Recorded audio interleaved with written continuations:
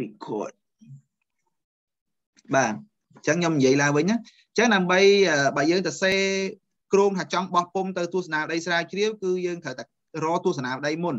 អញ្ចឹងណាអញ្ចឹងយើងអាចថាយើងទៅសេអើយើងទៅសេឲ្យហើយសិនឲ្យ content ឲ្យចេញហើយសិនហើយចាំយើងចេះ format អីទៅឯងពីព្រោះទស្សនាដីមួយចំនួនវាកំណត់អា format ហ្នឹងហ្មងគាត់ថាភាគច្រើនអត់កំណត់ទេបណ្ដៃទៅវាកំណត់ ហើយបើយើងទៅសេហើយហើយបើយើងទៅ fit មួយវាយើងត្រូវកែសម្រួលឡើងវិញពីច្រើនខាតពេលជាទៅវាមិនបញ្ហាធំដុំទេប៉ុន្តែវាខាតពេលយើងតែប៉ុណ្្នឹងណាបាទអញ្ចឹងអឺនៅក្នុងហ្នឹងគឺការស្វែងរកអឺ journal ហ្នឹងវាសំខាន់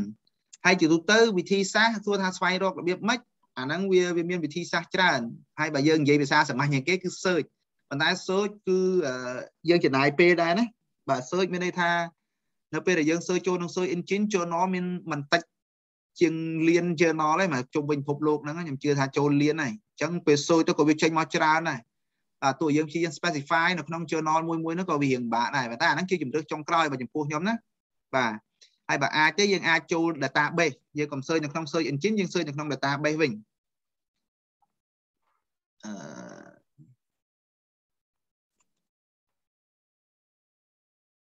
បាទអញ្ចឹងនេះអា database ហ្នឹងបាទ database យើង search ក្នុង database យើងអាចរៀងខ្លីជាងណាបាទ database វាមានច្រើនមាន Scopus មានមានអីខ្ញុំភ្លេចឈ្មោះអស់ទៅបាទមាន Elsevier មាន Web of Science ហ្នឹងមានច្រើនដែរហើយបើយើងអត់ចង់ search តាម database យើងអាច search direct នៅក្នុង search engine ដូចជាពពួក Google Scholar ឬអីហ្នឹងយើង search ទៅវាអាច load journal ដែលយើងស្គាល់មកឬក៏ Google ទៅធម្មតាតែម្ដងយើងប្រើ search តាមពាក្យវាណា Journal of Physics Education អីចឹងទៅជា search ទៅវាចេញមកច្រើនណាអាហ្នឹងអាហ្នឹងជំរឿចុងក្រោយប៉ុន្តែជំរឿល្អជាងគេបើយើងមានអ្នកណែនាំគឺសួរអ្នកណែនាំជាពិសេសឧបមាថាឥឡូវយើងកំពុងធ្វើលើ field តាក់ទងជាមួយនឹង science education អញ្ចឹងហើយយើងចាប់អារម្មណ៍ក្នុង level ណាមួយយើងបើយើងកំពុងរៀនយើងសួរគ្រូទៅថាតើយើងគួរទៅបោះពុំណាគ្រូគាត់ផ្ដល់យោបល់អីអញ្ចឹងហើយហើយបើអញ្ចឹងសិស្សច្បងប៉ុន្តែ practical ជាងគេនេះខ្ញុំបត់ពិសោធន៍ខ្ញុំគឺចេញពីនេះបាទ ចេញពីនៅពេលដែលយើងអាន journal ណាមួយយើងអាន journal ណាមួយយើងចាប់អារម្មណ៍វាយើងឃើញ text របស់វាទៅសេទៅស្រួលយើង format នឹងមើលទៅយើងស្រួលតម្រងអីយើងមើលទៅស្រឡាញ់យើង note វាទុក save journal នឹងទុកហើយបើយើងចង់បោះពុំវាយើងចូលទៅអានវាឲ្យស៊ីជម្រៅឬថា journal នឹងវាតម្រូវអីគេខ្លះអាហ្នឹងគឺជាបទពិសោធន៍ល្អជាងគេបទពិសោធន៍របស់ខ្ញុំគឺចេញពីអាហ្នឹងមកមកជីវិតខ្ញុំអាន journal តាមខ្ញុំចាប់ដើមចូលរៀន master នៅ ជប៉ុនហើយខ្ញុំចាប់ដើមអាន journal មកខ្ញុំចាប់អារម្មណ៍ OIP នឹងជាងគេដោយសាររូបជាខ្ញុំ search ណាក៏ចេញ OIP search ណាក៏ចេញ OIP អញ្ចឹងវាធ្វើខ្ញុំចាប់អារម្មណ៍ OIP អញ្ចឹងខ្ញុំតាមតាមវាជាប្រចាំអញ្ចឹង format របស់វាទម្រង់របស់វារបៀបសរសេររបស់វាគឺវាជាប់ក្នុងខ្លួនខ្ញុំហ្មងធ្វើខ្ញុំស្រឡាញ់វាហ្មងណាចឹងនៅពេលដែលខ្ញុំចាប់ដើមគិតពីបោះពុំខ្ញុំមើលដល់ OIP នឹងមុនគេរបស់ខ្ញុំណាអូសំទោស IOP មិនមែន OIP ទេណារបស់ខ្ញុំគឺអាហ្នឹងខ្ញុំឲ្យខ្ញុំបោះពុំ journal ខ្ញុំពីដែលខ្ញុំបោះពុំថ្មីថ្មីហ្នឹងគឺរបស់នៅហ្នឹងទាំងពីរទាំងនិយាយអញ្ចឹងណា បាទអាហ្នឹងវិធីល្អជាងគេណាបើយើងប្រើវិធី search ក៏វាមិនថាมันมันល្អព្រោះថាវាចំណាយពេលបន្តិចហើយយើងត្រូវអានម្ដងមួយម្ដងមួយតម្រាំរកឃើញវាយូរអញ្ចឹងនៅពេលដែលយើងចាប់ដើមអាន journal ហើយយើងឃើញ journal ណាមួយគួរឲ្យចាប់អារម្មណ៍យើង save វាទុកឲ្យហើយទៅហើយរបៀបខ្ញុំ save គឺខ្ញុំ save នៅក្នុងសាមញ្ញ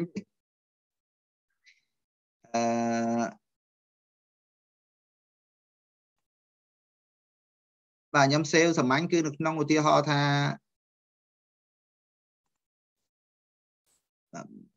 នេះខ្ញុំ save អ្នកនរគ្នាមើលឃើញទេមើលឃើញផ្ទៃខ្ញុំ save ហ៎ឃើញណាមិនតូចឃើញឃើញអីគេឃើញអីគេតូចហ្នឹងឃើញហ្វុនអសតូចតូចអត់អីតែសំខាន់ឃើញផ្ទៃផ្ទៃផ្ទៃអ៊ីនធឺណិតទេចង់និយាយអញ្ចឹងណាឃើញហ្នឹងហើយអញ្ចឹងខ្ញុំ save ចូលទេខ្ញុំ save ក្នុង bookmark នេះអញ្ចឹងដាក់ចេះខ្ញុំដាក់អញ្ចឹងនេះ consider journal for publish ខ្ញុំដាក់អញ្ចឹងហើយខ្ញុំ list មក journal ដែលខ្ញុំចាប់អារម្មណ៍ខ្ញុំ list ទុកអញ្ចឹងចឹងថ្ងៃក្រោយខ្ញុំអាចចូលទៅមើលវាបានចឹងនិយាយចឹងណាចឹងរបៀបខ្ញុំធ្វើគឺខ្ញុំធ្វើចឹងនេះ OIP IOP ដែលខ្ញុំបោះពុំនេះឃើញទេចឹងវាមានអាផ្សេងទៀតដែលខ្ញុំចាប់អារម្មណ៍មានច្រើនណាខ្ញុំមើលក្នុងហ្នឹងណាបាទអូខេអាហ្នឹងខ្ញុំខ្ញុំប្រើវិធីហ្នឹងដែលសាមញ្ញជាងគេស្រួលអត់ពិបាកណា អញ្ចឹងអ្នកនរគ្នាអាចសាកបានអញ្ចឹងរឿង search ខ្ញុំនិយាយថាប៉ុណ្ណឹងណាបើយើងមានគ្រូសួរគ្រូមានសិស្សច្បងសួរសិស្សច្បងតែបើអត់ទេយើងពេលដែលយើងទម្លាប់អានហ្នឹងយើងជួបហ្នឹងយើងយើងអឺចេះសេវាទុកខ្លួនឯងទៅចង់និយាយអញ្ចឹងណាបាទ search នៅក្នុង journal database វិញមានសំណួរមែនអឺ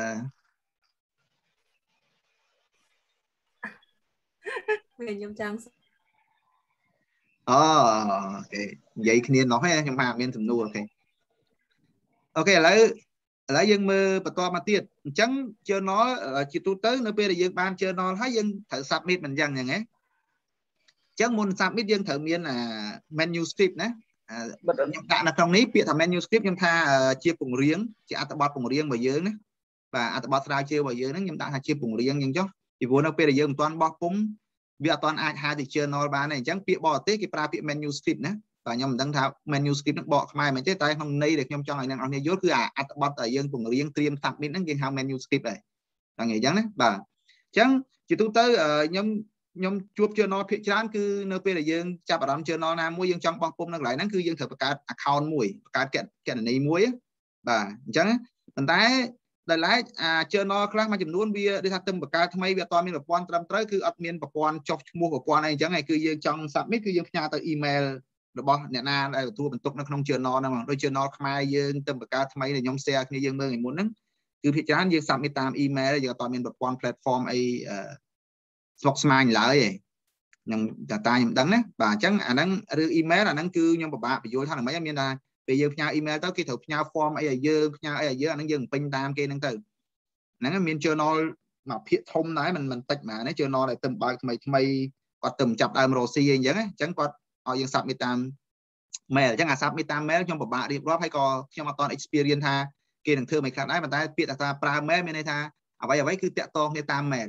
ប៉ុន្តែបើយើងប្រើកណនីមានន័យថាអ្វីអ្វីទាំងអស់គឺយើងធ្វើនៅការនៅលើ platform គេមាន platform មកគេមួយ វាដូចយើងបរៀន Google Classroom ហើយនិង Google បរៀនតាម Telegram អញ្ចឹងតាម Telegram យើងចង់ submit អីយើង send ទៅមួយមួយមួយឆ្លើយឆ្លងគ្នាអញ្ចឹងដែរតែបើក្នុង Google អឺ Classroom គឺយើងមាន option សម្រាប់ search option សម្រាប់ send option សម្រាប់កែ option សម្រាប់ feedback option អីអញ្ចឹងដែរវាមាន option មកវាអញ្ចឹងណាអញ្ចឹងទៅបើយើងបង្កើតកណនីមួយនៅក្នុងហ្នឹងគឺយើងប្រើ platform ដើម្បីប្រើណាអញ្ចឹងវាមានអា submit platform មកវាឲ្យយើងប្រើហើយ platform ហ្នឹងវាអាចប្រែប្រួលពី journal មួយទៅ journal មួយជាទូទៅណា បាទអាហ្នឹងក៏ខ្ញុំពិបាកនឹងបង្ហាញដែរប៉ុន្តែចាំខ្ញុំបង្ហាញអាបោះ IOP មួយថ្ងៃហ្នឹងខ្ញុំបង្ហាញអា platform ហ្នឹងឲ្យឃើញបន្តិចថា platform មានរបៀបម៉េចអូខេខ្ញុំនឹងបង្ហាញវាណានេះ IOP ជាមួយខ្ញុំបង្ហាញមើលវាយ៉ាងម៉េចដែរ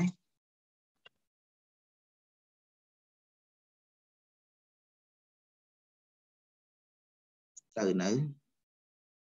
អ៊ីនធឺណិតខ្ញុំហ្នឹងយឺតទៀត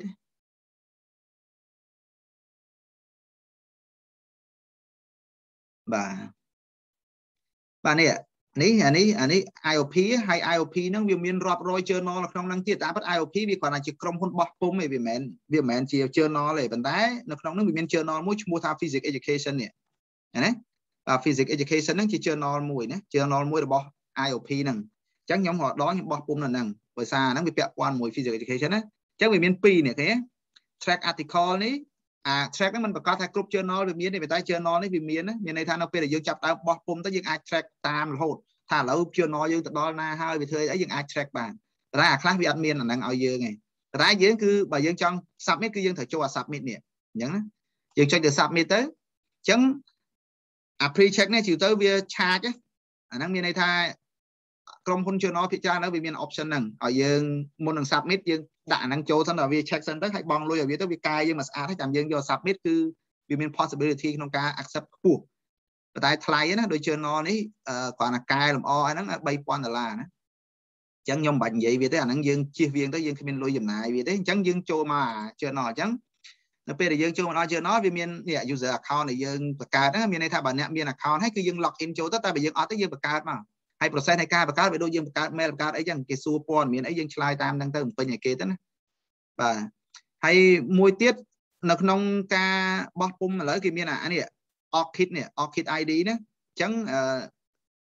បើយើងចង់ទៅសេបោះពុំគួរតែបង្កើតអាហ្នឹងមួយអាហ្នឹងគឺយើងប្រើមកជីវិតបង្កើតម្ដងគឺក្នុងការងារបោះពុំយើងទៅណាក៏យើងអាចប្រើវាដែរខ្ញុំមានដែរនេះ Orchid ID របស់ខ្ញុំគឺនេះណាតែឥឡូវខ្ញុំបង្ហាញតែ email សិនចុះខ្ញុំប្រើ email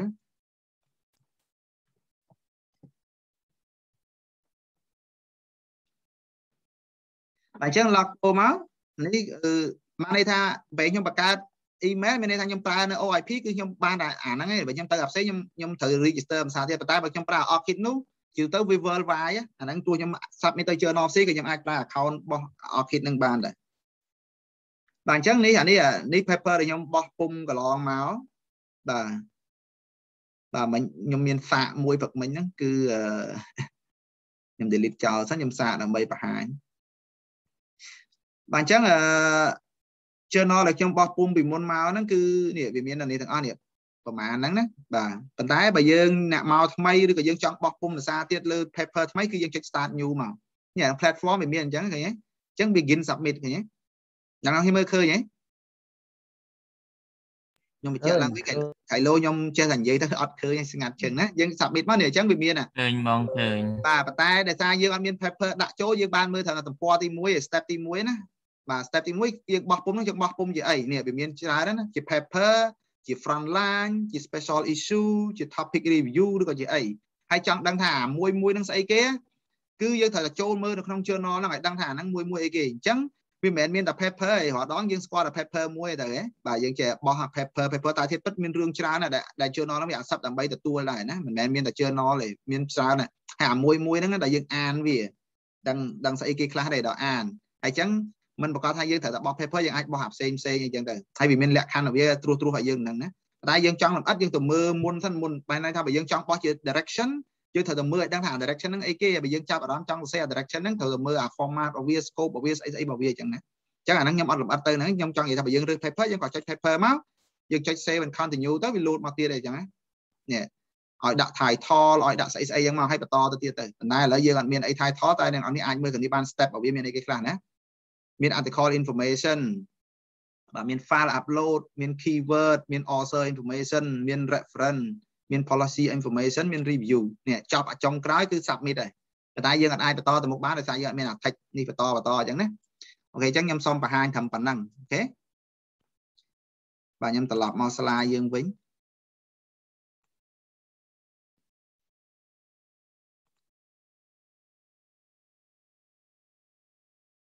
OK អញ្ចឹងអាហ្នឹងរូបរាងរបស់វាណាអញ្ចឹងកត្តាដែលសំខាន់យើងពេលយើងចូល journal មួយ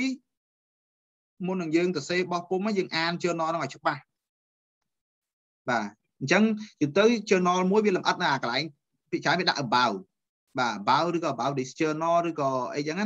កន្លែងហ្នឹងគឺវាស្អីលម្អិតថា journal វាទទួលត្រឹមណាមានទទួលអីគេខ្លះវាមានអឺអឺផ្ដល់ព័ត៌មានអីខ្លះតាក់ទងមួយ journal របស់វាហ្នឹងតាំងពី level របស់វានៅក្នុង impact factor របស់វា មាន citation score មានអីជាដើមនៅក្នុងហ្នឹងទាំងអស់ណា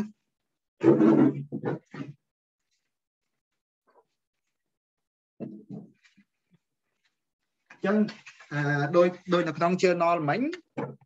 អញ្ចឹងខ្ញុំនិយាយនេះសិនចាំខ្ញុំទៅបង្ហាញនៅភាសាទៀតណាបាទអញ្ចឹងបន្ទាប់ពីយើងដឹងថា journal ហ្នឹងវាមានអីគេខ្លះវាមានលក្ខខណ្ឌអីគេខ្លះហើយកន្លែងមួយទៀតដែលយើងត្រូវមើលគឺ author guideline មានន័យថាសេចក្តីណែនាំសម្រាប់ author មានន័យថានៅពេលដែលយើង submit manuscript ទៅក្នុង journal យើងខ្លាចជា author ហើយបាទជាជាអ្នកនិពន្ធហើយអញ្ចឹងយើងទៅមើលតើគេគេណែនាំយើងអីខ្លះក្នុងនាមជាអ្នកនិពន្ធយើងត្រូវធ្វើគេខ្លះអញ្ចឹងគេសរសេរលម្អិតក្នុងហ្នឹងណាហើយ journal មួយមួយវាវាខុសគ្នាទៅទៅអត់ដូចគ្នាទាំងស្រុងទេគ្រាន់តែជា rule វាមានស្រៀងគ្នាច្រើនតែ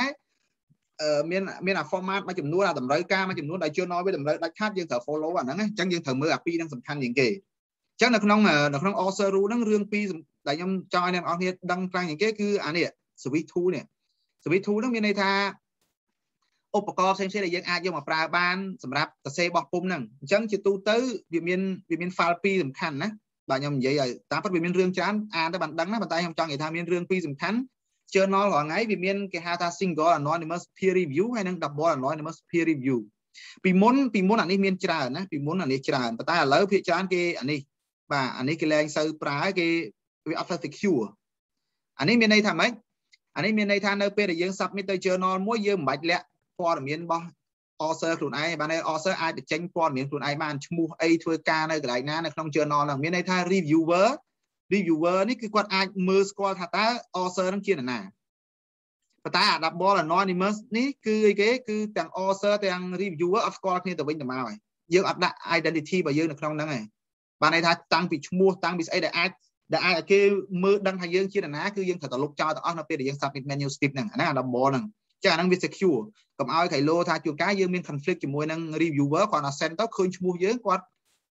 គាត់ reject ហ្មងគឺដាក់ឲ្យយើងធ្លាក់អីចឹងអញ្ចឹងដើម្បី secure គឺគេប្រើអាហ្នឹងប៉ុន្តែបាទនេះគឺ reviewer អាចស្គាល់យើងតែយើងអត់ស្គាល់ reviewer ទេ ចង់និយាយអញ្ចឹងអញ្ចឹងអារឿងហ្នឹងពីរសំខាន់ជាងគេអញ្ចឹងយើងនៅពេលដែលយើងចូលទៅក្នុង journal មួយយើងត្រូវមើលអា guideline វាហ្នឹងហើយវាប្រាប់ថាបើ journal វាយក anonymous មានន័យថានៅពេលដែលយើងសរសេរសូម្បីតែយើងសៃដូចករណីខ្ញុំអា paper ទី2របស់ខ្ញុំខ្ញុំសៃតែ paper ទី1របស់ខ្ញុំអញ្ចឹងសូម្បីអារបៀបដែលខ្ញុំសៃនៅក្នុង paper ទី2គឺมันអាចសរសេរ clear ណាមួយដែលគេអាចអានដឹងថាអូខ្ញុំនឹងកំពុងសៃខ្លួនឯងហើយអញ្ចឹងគេ refer ទៅអា reference របស់ខ្ញុំទៅគេអាចស្គាល់ខ្ញុំហើយគឺសូម្បីអាការសរសេរហ្នឹងគឺយើងត្រូវដកចេញមកហើយបើយើងខុសលក្ខខណ្ឌហ្នឹង អាហ្នឹងការសម្រេចចិត្តនៅលើ journal របស់គេគេអាចអត់ទទួលយើងឬគេ risk ដែលយើងជួបជាមួយនឹងអា reviewer គេអត់អត់ទទួលខុសត្រូវអីចឹងទៅអញ្ចឹងណាអញ្ចឹងយើងត្រូវមើលហើយបើគេឲ្យ single anonymous peer review អាហ្នឹងយើងយកអា format របស់ single anonymous peer review មកហើយយើងធ្វើតាមគេទៅអញ្ចឹងខ្ញុំចង់បង្ហាញទៅ page វិញបន្តិចទៀតមិញទៅឡើង page របស់យើងវិញបាទអញ្ចឹងអា page របស់យើងនេះអ្នកនរគ្នាមើលឃើញហ៎មើលឃើញហ៎សួរសិន ឃើញឃើញបាទនេះអញ្ចឹងនេះ about នេះខ្ញុំនិយាយហ្នឹងលឺអីលឺអីលឺបាទអញ្ចឹងលឺបងមិនដែរអឺឃើញឃើញបាទអញ្ចឹងនេះ about ហ្នឹងយើងចុចលើ about ហ្នឹងមកជឿណវាអាចដាក់ពាក្យខុសៗគ្នាប៉ុន្តែគោលដៅគឺត្រូវតែមើលដឹងថាតើ journal ហ្នឹងវាមានអីគេខ្លះវាប្រាប់យើងអីគេខ្លះអញ្ចឹងនៅក្នុង about រឿងដែលសំខាន់ជាងគេគឺ scope បាទ scope scope ហ្នឹងវាប្រាប់យើងអីគេនេះ journal របស់វាហ្នឹងគឺវាវាចង់បោះពុំស្អីគេឃើញទេវាដាក់គឺតាក់ទងជាមួយការរៀននិងបង្រៀនរូបវិទ្យាហើយ contribute ទៅនឹង teacher ហ្នឹងហើយហើយអ្នកដែលអានអ្នកដែលអាន journal ហ្នឹងគឺគេ expect ថាក្មេងចាប់ពីអាយុ11ឆ្នាំឡើងទៅរហូតដល់ undergraduate បាទអញ្ចឹងមានន័យថា journal របស់យើងបោះនៅត្រឹមសិស្សតែមនុស្សវិទ្យាល័យក៏អាចអានបានដែរតោះនិយាយអញ្ចឹងអញ្ចឹង ចំណេះដឹងដែលចាប់ពីអនុវិទ្យាល័យរហូតដល់ undergraduate គឺយើងអាចបោះពុំនៅនឹងបានតែបើចំណេះដឹងហួសពីហ្នឹងគេអត់ទទួលនឹងបោះពុំអញ្ចឹងបើយើងអត់បានមើលអាហ្នឹងទេយើងចេះតែ submit ចូលទៅគេ reject យើងហើយខុស criteria ដូចខ្ញុំអា paper ទី2របស់ខ្ញុំខ្ញុំចង់ដាក់ទៅ higher education ណាខ្ញុំចង់ submit ទៅ under graduate គេគេគេ reject មកគាត់ខ្ញុំ send ទៅគេ review ហើយគេថា content របស់យើងអត់ត្រូវទេគេថា out of scope ហើយនេះ out of scope នេះអត់ចូលក្នុង scope របស់គេអញ្ចឹងគេដកតែទៀតពិត ចូលប៉ុន្តែគាត់ថាយើងវាចូលរៀងស្ទាក់ស្ទើរអញ្ចឹងគេអត់ចង់បានគេអត់ពេញចិត្តគេថាយើង our scope គេ send ខ្ញុំត្រឡប់មកអានេះវិញអញ្ចឹងបាទអញ្ចឹងអា scope នឹងសំខាន់ហើយ scope ហ្នឹងវាមានប្រាប់ទៀតគេនៅក្នុង paper វាមាន3ដូចយើង teach មិញមានច្រើនប៉ុន្តែនៅក្នុងអា physical education វាទទួលតែ3ទេទី1គេហៅ paper ហើយវាឲ្យតែសេត្រឹម3000ពាក្យទេបាទនេះ up to 3000ពាក្យអញ្ចឹងណាអានេះវានិយាយលម្អិតអីតទៀតអញ្ចឹងទៅតែបើយើងយក front line នេះបើយើងយក front line គឺទៅសេត្រឹមយ៉ាងច្រើន1000ពាក្យទេ ហើយបើយើងសរសេរ direction គឺគេឲ្យ3000ពាក្យដែរហើយអា direction ហ្នឹងស្អីស្អីគេបញ្យល់ហ្នឹងណាបាទអញ្ចឹងវាមានព័ត៌មានច្រើនទៀតដែលយើងត្រូវមើលឲ្យដឹងណា special requirement របស់វាវាត្រូវ require គេខ្លះនេះវាត្រូវមើលណាវាប្រាប់បោះពុំតាក់ទងមួយ smartphone ឬ Arduino វាមិនបើប្រើ supplementary material វាមិន video abstract ណាវាមានណែនាំយើងច្រើនណារហូតដល់ចុងក្រោយនេះអាកន្លែង open access នេះសំខាន់ណា journal ខ្លះវាអត់ឲ្យ open access ទេ journal ខ្លះវាឲ្យ open access ប៉ុន្តែ journal ដែលមាន open និងអត់ open ណាជាទូទៅអាពេលយើងធ្វើ open access បានន័យថាយើងបោះពុំឲ្យអ្នកណាក៏អាចមើលបានណា open access មានន័យតែអញ្ចឹងនៅពេលដែលយើងបោះពុំចូលទៅក្នុង journal ហ្នឹងហើយអ្នកណាក៏អាច download យកមកអានបានអាហ្នឹងគឺ open access អញ្ចឹងបើយើង submit ចូលដល់ open access មានន័យថាយើងត្រូវ pay លុយឲ្យឲ្យ journal ព្រោះ journal គេអត់បានរលុយអីពីយើងទេអញ្ចឹងបើយើងចង់ឲ្យគេបើក open access ទៅលើអា journal ដែលយើងបោះពុំនេះយើងត្រូវ pay លុយឲ្យគេហើយដូចក្នុង journal នេះជាប្រហែលជា3 3300 pound ក្នុងមួយ paper ណាបាទអញ្ចឹងខ្ញុំអត់យក open access ទេខ្ញុំគឺ subscribe ទេគេខ្ញុំនឹងនិយាយនៅក្នុង slide របស់ខ្ញុំដែរខ្ញុំយក subscribe មានន័យថាខ្ញុំបោះចូលទៅហ្នឹងខ្ញុំអត់ pay លុយឲ្យ journal ហ្នឹងទេប៉ុន្តែ journal ហ្នឹងចង់យករបស់ខ្ញុំទៅលក់ណាលក់ទៅ អញ្ចឹងទៅលក់ journal គេលក់តាម subscribe បានសកលជាឡាយដែលខ្ញុំកំពុងរៀនអញ្ចឹងគេ subscribe ទៅ journal មួយហ្នឹងទៅគេបង់លុយឲ្យ journal ហ្នឹងទៅអញ្ចឹងរាល់ journal ដែលបោះនៅក្នុង journal ហ្នឹងគឺសិស្សដែលរៀនដូចខ្ញុំអញ្ចឹងអាច access ទៅបានតែអ្នកដែលក្រៅពីសិស្សដូចខ្ញុំនៅក្នុងសាលារបស់ខ្ញុំហ្នឹងអត់អាច access បានទេចង់ទិញវាលក់មួយ paper 20រៀល30រៀលដូច paper នេះបើយើងទិញអានម្ដងគឺ33ដុល្លារហើយហើយអូខេបើជើងពូទៅខាងនោះបាត់ហើយ ចុងក្រោយវាប្រាប់យើងដែរបើជើងពូនេះអឺយើងខាងខាងនេះខាងនេះ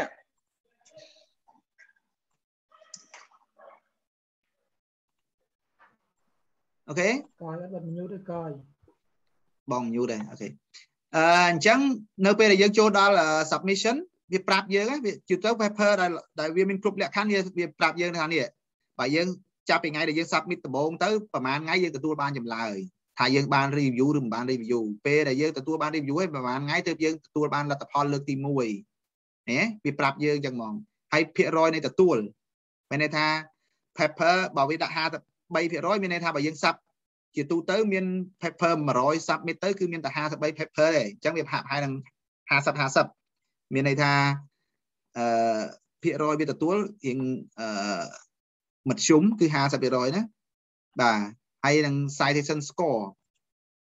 បើ citation score នេះអានឹងចាំយើងនិយាយពេលក្រោយទៀតទៅបាទប៉ុន្តែចង់និយាយថាបើ citation score នឹងកាន់តែខ្ពស់បានថា journal នឹងកាន់តែល្អអញ្ចឹងណាបាទហើយអានេះព័ត៌មានលម្អិតអីផ្សេងផ្សេងទៀតហ្នឹងវាមានប្រាប់ថាតើពី2020ហ្នឹងមានប្រទេសណាបោះជាភាសាអីគេខ្លះមានប្រមាណភាគរយមកពីណាពីណាហ្នឹងជា statistic ផ្សេងផ្សេងដែលយើងអាចមើលប៉ុន្តែអ្វីដែលសំខាន់ជាងគេនៅក្នុងហ្នឹងទីមួយអានេះគឺផ្ដល់ព័ត៌មានមួយដល់យើងឧបមាករណីយើងដឹងថាយើងបញ្ញាប់តើយើងគួរបោះអាហ្នឹងអត់ឧទាហរណ៍វាដាក់មកមួយឆ្នាំ ហើយយើងមានពេលតែ3ខែអញ្ចឹងបើយើងទៅបោះមួយឆ្នាំគឺយើងយឺតហើយអញ្ចឹងអានេះវាចំណាយពេលប្រហែលជា40ថ្ងៃណាតាំងពី submit រហូតដល់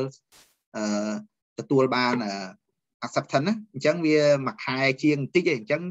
អ្នកដែលបញ្ញាប់អាចបោះបានអញ្ចឹងយើងអាចមើលអញ្ចឹងបាទវាខុសគ្នាតែចន្លោះមួយអាទិត្យឯងអស់ហើយអត់ខុសច្រើនទេអូខេអញ្ចឹងអាហ្នឹងមួយ scope សំខាន់គឺតាំងពី scope នៅក្នុង content ហើយនិង scope នៅក្នុងប្រភេទ paper ដែលយើងបោះអាហ្នឹងក៏សំខាន់ដែរ ត្រូវតែមើលអាហ្នឹងអត់មើលអាហ្នឹងអត់បានហើយអត់មានអ្នកណាប្រាប់ថា journal ណាមិន journal ណាមិនគឺមានតែចូលមកដល់ journal ហ្នឹងអានខ្លួនឯងហ្មងអញ្ចឹងហើយតកតជាមួយនឹង review មិញដែលខ្ញុំនិយាយគឺវាមាន peer review នេះ peer review មាន2ណាអញ្ចឹងយើងអានឲ្យច្បាស់ថាតើវាស្អីគេនេះដូចអានេះគេ journal ហ្នឹងគឺ double anonymous peer review process មានន័យថា author ហើយនិង reviewer អត់ស្គាល់គ្នាទេអញ្ចឹង format ទាំងអស់ដែលយើងសរសេរនៅក្នុងនោះគឺត្រូវតែរក្សាហ្នឹងឲ្យបានគេខុសអាហ្នឹង ដូចខ្ញុំនិយាយ journal ដែលគេតឹងរឹងមែនតើយើងធ្វើខុសលក្ខខណ្ឌគឺគេគេអត់ទទួលយើងហ្មងហើយអ្នកខ្លះក៏គេចិត្តល្អគេប្រាប់យើងថាយើងខុសអីអ្នកខ្លះគេគាត់ថា reject ចប់អញ្ចឹងអញ្ចឹងយើងអត់ដឹងថាមកពីមូលហេតុអីអញ្ចឹងយើងត្រូវមើលឡើងហ្នឹងហើយបើយើង single anonymous review យើងត្រូវធ្វើតាមអា single anonymous អញ្ចឹងទៅអូខេហ្នឹងរឿងទី1រឿងទី2តកតជាមួយនឹង author guideline ណានេះ author guideline វាអាចប្រើពាក្យ term ខុសគ្នាតិចប៉ុន្តែมันខុសគ្នាខ្លាំងទេ journal ចូលដំបូងសំខាន់ជាងគេមើលពីរនឹងធំជាងគេណាបាទយើងចង់ដឹងអញ្ចឹងយើងចូល author guideline ហ្នឹងគឺកន្លែងដែលណែនាំថា author ត្រូវធ្វើអីអញ្ចឹងវាមានរឿងច្រើននៅក្នុងហ្នឹងអញ្ចឹងខ្ញុំអត់មានពេល present ទាំងអស់ប៉ុន្តែខ្ញុំចង់ឲ្យមើលធំជាងគេគឺ author service and tool ដែលខ្ញុំចង់បញ្ជាក់ហ្នឹងថាអ្វីខ្លះដែលគេផ្ដល់ឲ្យសម្រាប់ author ណាបាទហើយបើយើងចង់អានលម្អិតនេះចូល author guideline អានណាថាយើងត្រូវ author ត្រូវត្រៀមអីគេខ្លះការសរសេរមិន clear ខ្លួនយកមិនគេប្រាប់យើងទាំងអស់ក្នុងហ្នឹងណា អញ្ចឹងយើងនៅនេះយើងអត់មានពេលទេយើងចាំរើសយកចូលណមួយណាហើយយើងអានខ្លួនឯងលម្អិតអញ្ចឹងនៅក្នុង tool វាមានច្រើនណាស់ប៉ុន្តែ tool ដែលសំខាន់ជាងគេគឺយើងចង់បានអាអីគេគឺយើងចង់បាន template យកមកប្រើអញ្ចឹងនេះអញ្ចឹងអញ្ចឹងនៅក្នុងហ្នឹងយើងយក template មួយយកមកប្រើអញ្ចឹង template គឺឃើញទេដោយសារ journal វាអាចមាន2មាន double anonymous template ហើយនិង single anonymous ណាអញ្ចឹង លក្ខខណ្ឌរបស់វាដូចខ្ញុំនិយាយនៅពេលដែលយើងស្គាល់ថា double anonymous វាមិនហើយយើងយក template វាមកយើង follow តាម template ទៅចប់ហើយបើយើងដឹងថា journal របស់យើង single anonymous យើងយកអា single anonymous template ទៅប្រើទៅចប់តែខ្ញុំបង្ហាញតិចថាវាខុសគ្នាមិនអាពីរហ្នឹងអញ្ចឹងខ្ញុំបាន download ទុកហើយខ្ញុំ share សិនបាទអញ្ចឹងនេះអានេះ double anonymous double anonymous template របស់វាគឺអញ្ចឹងនេះទេ គឺមាន call title វាប្រាប់ណាវាសរសេររៀបរាប់មកហើយគឺអត់មានឲ្យឈ្មោះ author ទេអត់មានឈ្មោះ author អត់មានអីលេខហ្នឹងទេ email របស់ author អីក៏អត់មានតាក់ទងទាំងអស់ហើយវាប្រាប់វាបញ្ជាក់សរសេរយើងនេះអត់ឲ្យយើង include អីអស់ហ្នឹងឯងឬក៏សូម្បីតែក្នុង text របស់យើងដែលមាន file ទាំង line ណាដែលអាចបញ្ជាក់ពី identity របស់ author គឺត្រូវតែដកចេញអស់ដកចេញហ្នឹងមិនមែនអត់ឲ្យដាក់បញ្ចូលឲ្យនៅពេលរបស់ពុំមានទេអត់ទេគឺយើងត្រូវសរសេរក្នុង the weight ក្នុងវិធីសាស្ត្រណាដែលមិនអាចគេអានទៅយល់ឃើញថាដឹងថា author ជានរណាដូចខ្ញុំនិយាយករណីខ្ញុំមិញសូម្បីតែខ្ញុំសាយពី paper ខ្លួនឯងខ្ញុំត្រូវតែសាយក្នុងវិធីដែលគេអាចស្គាល់ខ្ញុំថាខ្ញុំជា author មួយហ្នឹងឯងហើយយ៉ាអានេះ format របស់គេគឺរូបរាងវាអញ្ចឹងណាយើងត្រូវមាន abstract យើងត្រូវមាន keyword ហើយ format របស់យើងយូរទៅវាអត់កំណត់ទេយើងចង់សរសេរអីស្អីទៅប៉ុន្តែវាគ្រាន់តែប្រាប់ថាយើងត្រូវសរសេរ font ប៉ុន្មានអីប៉ុន្មានបើយើងចង់សរសេរ sub headline យើងត្រូវដាក់ font មិនអីមិនអញ្ចឹងទៅតែវាបញ្ជាក់ឡើងនេះឃើញទេតែខ្ញុំនិយាយមិនអញ្ចឹងទាំង reference ទាំង text ដែលនៅក្នុងការសរសេរហ្នឹងគឺត្រូវតែហាម reveal នេះ reveal your identity គឺកើតឲ្យកើតឲ្យ reveal ទេណាយើងត្រូវតែសរសេរក្នុង terminology ណាដើម្បីកុំឲ្យ reveal អាហ្នឹងគឺគេដាក់ក្រហមប្រចាំយើងសូម្បីតែ citation របស់យើងយើងត្រូវ cite ខ្លួនឯងនៅក្នុងហ្នឹងអញ្ចឹងរបៀប cite ហ្នឹងគឺវាបញ្ជាក់យើងទេគឺ cite ហ្នឹងអត់ឲ្យបញ្ជាក់ identity របស់យើងអញ្ចឹងយើងត្រូវធ្វើណាអាហ្នឹងអាហ្នឹងជាគោលការណ៍ អានេះគឺ double anonymous ហើយបើយើងមើលយើងមើល single anonymous វិញចាំខ្ញុំបង្ហាញ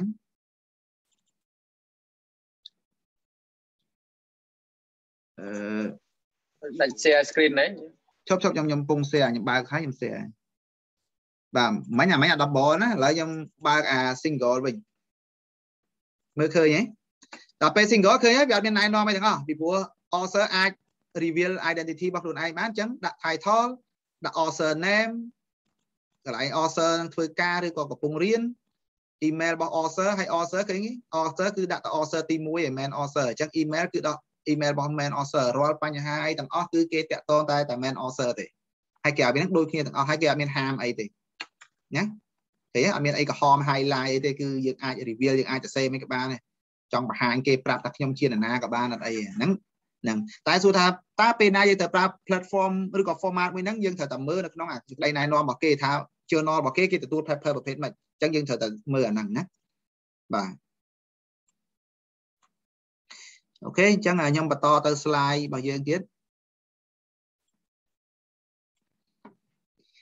បាទអញ្ចឹងអាហ្នឹងតាក់តងនឹងណាអញ្ចឹងរឿងរឿងទាំងអស់ហ្នឹងសំខាន់ណាសូមសូម check អញ្ចឹងពេលយើងចូលយើងចូល journal មកបើយើងអត់អានមានពេលអានឲ្យគ្រប់ផ្នែកទាំងអស់ទាំងហើយយើងអានពីចំណុចហ្នឹងទី1គឺ about journal ហ្នឹងហើយ focus ខ្លាំងជាងគេគឺ scope របស់វាហើយនឹងប្រភេទដែលវា peer review របស់វាអាហ្នឹងសំខាន់ជាងគេណាបាទហើយបន្ទាប់មកគឺនៅក្នុង paper មួយយើងត្រូវមើលថាសេចក្តីណែនាំសម្រាប់អ្នកនិពន្ធ author guideline គឺត្រូវតែមើលហើយព្យាយាមរកអាពីរនេះសំខាន់ជាងគេណាបាទ ហើយមិនមាន guideline ផ្សេងទៀតដែលយើងមើលលម្អិតចឹងទៅបាទអញ្ចឹងការធ្វើពង្រៀនអញ្ចឹងនៅពេលដែលយើងសម្រាប់ថាយើងចង់បោះនៅ journal ហ្នឹងហើយយើងទៅមើលយល់ដឹងពី journal អស់ហើយគឺយើងចាប់ដើមមករៀបចំ menu script របស់យើងណាបាទពង្រៀនអត្ថបទស្រាវជ្រាវរបស់យើងអញ្ចឹងអារៀប menu script ដូចខ្ញុំបញ្ជាក់ហ្នឹងយើងកុំព្យាយាមធ្វើ menu script ឲ្យចាំទៅរក journal ឲ្យចាំ fit វាគឺមុននឹងយើង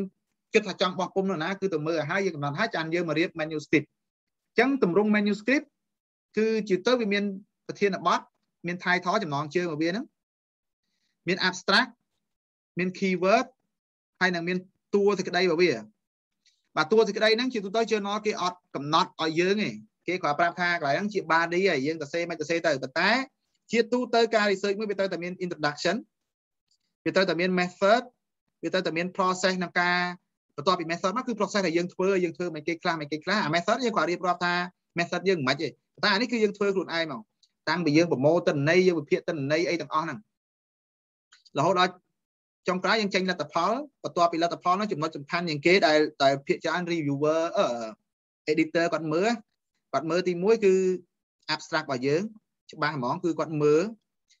ហើយគាត់ម្លងស្អីស្អីមកទាំងអស់គាត់អាចមើល method បន្តិចហើយមើល result ហើយនឹង discussion គាត់មើលតែ plan plan ហ្នឹងទេនៅគាត់នឹងសម្រាប់ថា paper របស់យើងគួរតែបញ្ជូនទៅ reviewer អត់ហើយបើយើងទៅសេអាហ្នឹងអត់ល្អទេគឺចាប់ហើយហើយជាពិសេស abstract ហ្នឹងសំខាន់ជាងគេហើយបាទគាត់អានដំបូងគឺ abstract ហ្នឹងហើយណាបាទបើអានទៅ abstract គាត់ចាប់អារម្មណ៍ហើយគាត់មើល method បន្តិច process ពីច្រើនគាត់ទៅមើលច្រើនគឺគាត់មើល result ហើយនឹង discussion របស់យើងបាទគាត់មើលអាហ្នឹងបើមិនចឹងទេគាត់ម្លងអាពីរហ្នឹងមកមើល conclusion ហ្មងព្រោះ conclusion វាក្តោបអាហ្នឹងហើយអញ្ចឹងហើយក្រៅពីហ្នឹងគាត់អត់មើលតែ reference ឯងគាត់អត់មើលពេលហ្នឹង reference គឺគេមើលនៅពេលដែលគេនៅពេលដែលយើងចាប់ដើមបោះពុំហើយដំណើរការបោះពុំហើយបានគេ accept អីអស់ហើយបានគេ check មើល reference របស់យើងខុសត្រូវខុស format ខ្វះព័ត៌មានអីគេនឹងប្រាប់តាមក្រោយអញ្ចឹងនៅក្នុង body ហ្នឹងគឺយើងត្រូវតែមានទាំងអស់ហ្នឹងហើយអានេះវាប្រែប្រួលណាបើ research បែប quantitative បែបគុណវិស័យអញ្ចឹងឯងគុណវិស័យបរិមាណវិស័យជាទៅគឺ follow អាហ្នឹងហ្មងនេះអានេះខ្ញុំទៅសេនេះគឺក្នុងទម្រង់ពួកបរិមាណវិស័យហើយតែបើពួកគុណវិស័យ វាប្រែប្រួលជួនទៅ method វាអត់ច្បាស់លាស់ process វាក៏អត់ច្បាស់លាស់ហើយ result របស់វាក៏អត់ច្បាស់លាស់ដែរអញ្ចឹងយូរទៅវាអត់មានទម្រង់ហ្នឹងទេអញ្ចឹងគុណវិស័យគឺវាប្រែប្រួលមកពិបាកនិយាយថារូបរាងវាមិនចេះប៉ុន្តែបើខាងផ្នែកបរិមាណវិស័យយូរទៅគឺសរសេរក្នុងទម្រង់ហ្នឹងដាក់ journal ណាក៏ត្រូវដែរយ៉ាងច្រើនខុសតិចតួចទេបាទអា paper មួយចំនួនវាតម្រូវឲ្យយើងធ្វើ literature review ដាក់ដាច់ប៉ុន្តែយូរទៅនៅក្នុង journal ភាគច្រើនគឺ literature review យើងបញ្ចូលទៅក្នុង introduction ហ្នឹងហ្មង បានន័យថា introduce interview ហើយ literature literature ហើយ research section នេះគឺនៅក្នុង introduction ហ្នឹងអស់ចប់ពីហ្នឹងមកគឺយើងចាប់ដើមតែនិយាយ method បន្តិចហើយយើងនិយាយពីដំណើរការដែលយើងធ្វើវាហ្មងដំណើរការធ្វើគឺសំដៅយ៉ាងគេនៅពេលដែលយើងបានទិន្នន័យយកមកវិភាគហ្នឹងឯងគឺ data analysis ណា process ហ្នឹងហើយចេញជាលទ្ធផលហើយយើងពិភាក្សាវាពិភាក្សាហើយយើង conclude ចប់អញ្ចឹងណាបាទ អញ្ចឹងបន្ទាប់ពីរៀបអាហ្នឹង manuscript រួចរាល់ហើយមុននឹងយើង submit ទៅត្រូវមានឯកសារមួយទៀតតាម paper ដែរ paper ខ្លះគឺគេទាមទារយក CV របស់យើងប្រវត្តិរូបរបស់យើងហើយ paper ខ្លះគេអត់ទាមទារ CV ទេព្រោះគេឲ្យយើងសរសេរនៅក្នុងហ្នឹងតែម្ដងគេសួរយើងឈ្មោះអីមាន email អាស័យដ្ឋានអីអស់ហើយប៉ុន្តែគេត្រូវមាន cover letter មួយបើ cover letter នេះអត់ដូច cover letter យើងសរសេរការងារវាស្តៀងប៉ុន្តែអត់ដូចទេ តិចទៀតខ្ញុំនឹងបង្ហាញថា cover letter យើងសរសេរមិនហើយបើ CV អត់អីទេ CV គឺទៅដូច CV យើងធ្វើការងារដែរសរសេរប្រវត្តិរូបយើងមកទាំងអស់ប្រវត្តិការងាររបស់យើងប្រវត្តិការអប់រំរបស់យើងសរសេររៀបរាប់មកហើយ format យើងប្រើ format អីក៏បានគេអត់ប្រកាន់ទេប៉ុន្តែ cover letter យើងដឹងថា cover letter វាមាន structure របស់វាមិនខុសពី cover letter ការងារបើ structure រូបរាងណាប៉ុន្តែខាងក្នុងសរសេរមិនវាអត់ដូចអត់ដូច cover letter ការងារដូច OIP ណា IOP គេអត់គេអត់យក CV ទេគេយក cover letter អញ្ចឹងមានន័យថាមុនយើង submit manuscript ទៅគឺយើងត្រូវមាន manuscript ហើយយើងត្រូវសេ cover letter មួយទៀតអញ្ចឹងបាទឥឡូវខ្ញុំសូមបង្ហាញថាអារូបរាង manuscript ខ្ញុំបង្ហាញអា manuscript ដំបូងដែលខ្ញុំអត់ទាន់បោះពុំតែពេលខ្ញុំ submit ទៅវាមិនហើយចាំមើលអ្នកនរនេះចប់ពី presentation របស់ខ្ញុំនឹងឃើញថានៅពេលដែលខ្ញុំបោះពុំទៅឃើញថាវាខុសគ្នាប៉ុន្មានអញ្ចឹងណាបាទហើយខ្ញុំបើក file ហ្នឹងសិនខ្ញុំយក manuscript 2ហ្មងទៅ file ខ្ញុំបើកហើយអញ្ចឹង first submission បាទខ្ញុំឲ្យមើល manuscript ដំបូងរបស់ខ្ញុំ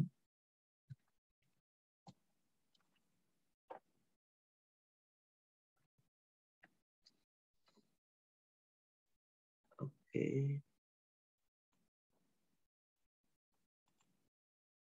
អ្នកនរគ្នាមើលឃើញនៅឃើញអីគេឃើញឃើញនៅ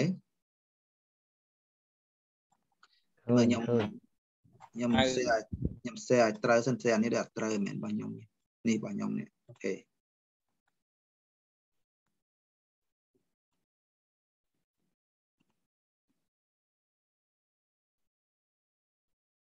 យីតណាចេះ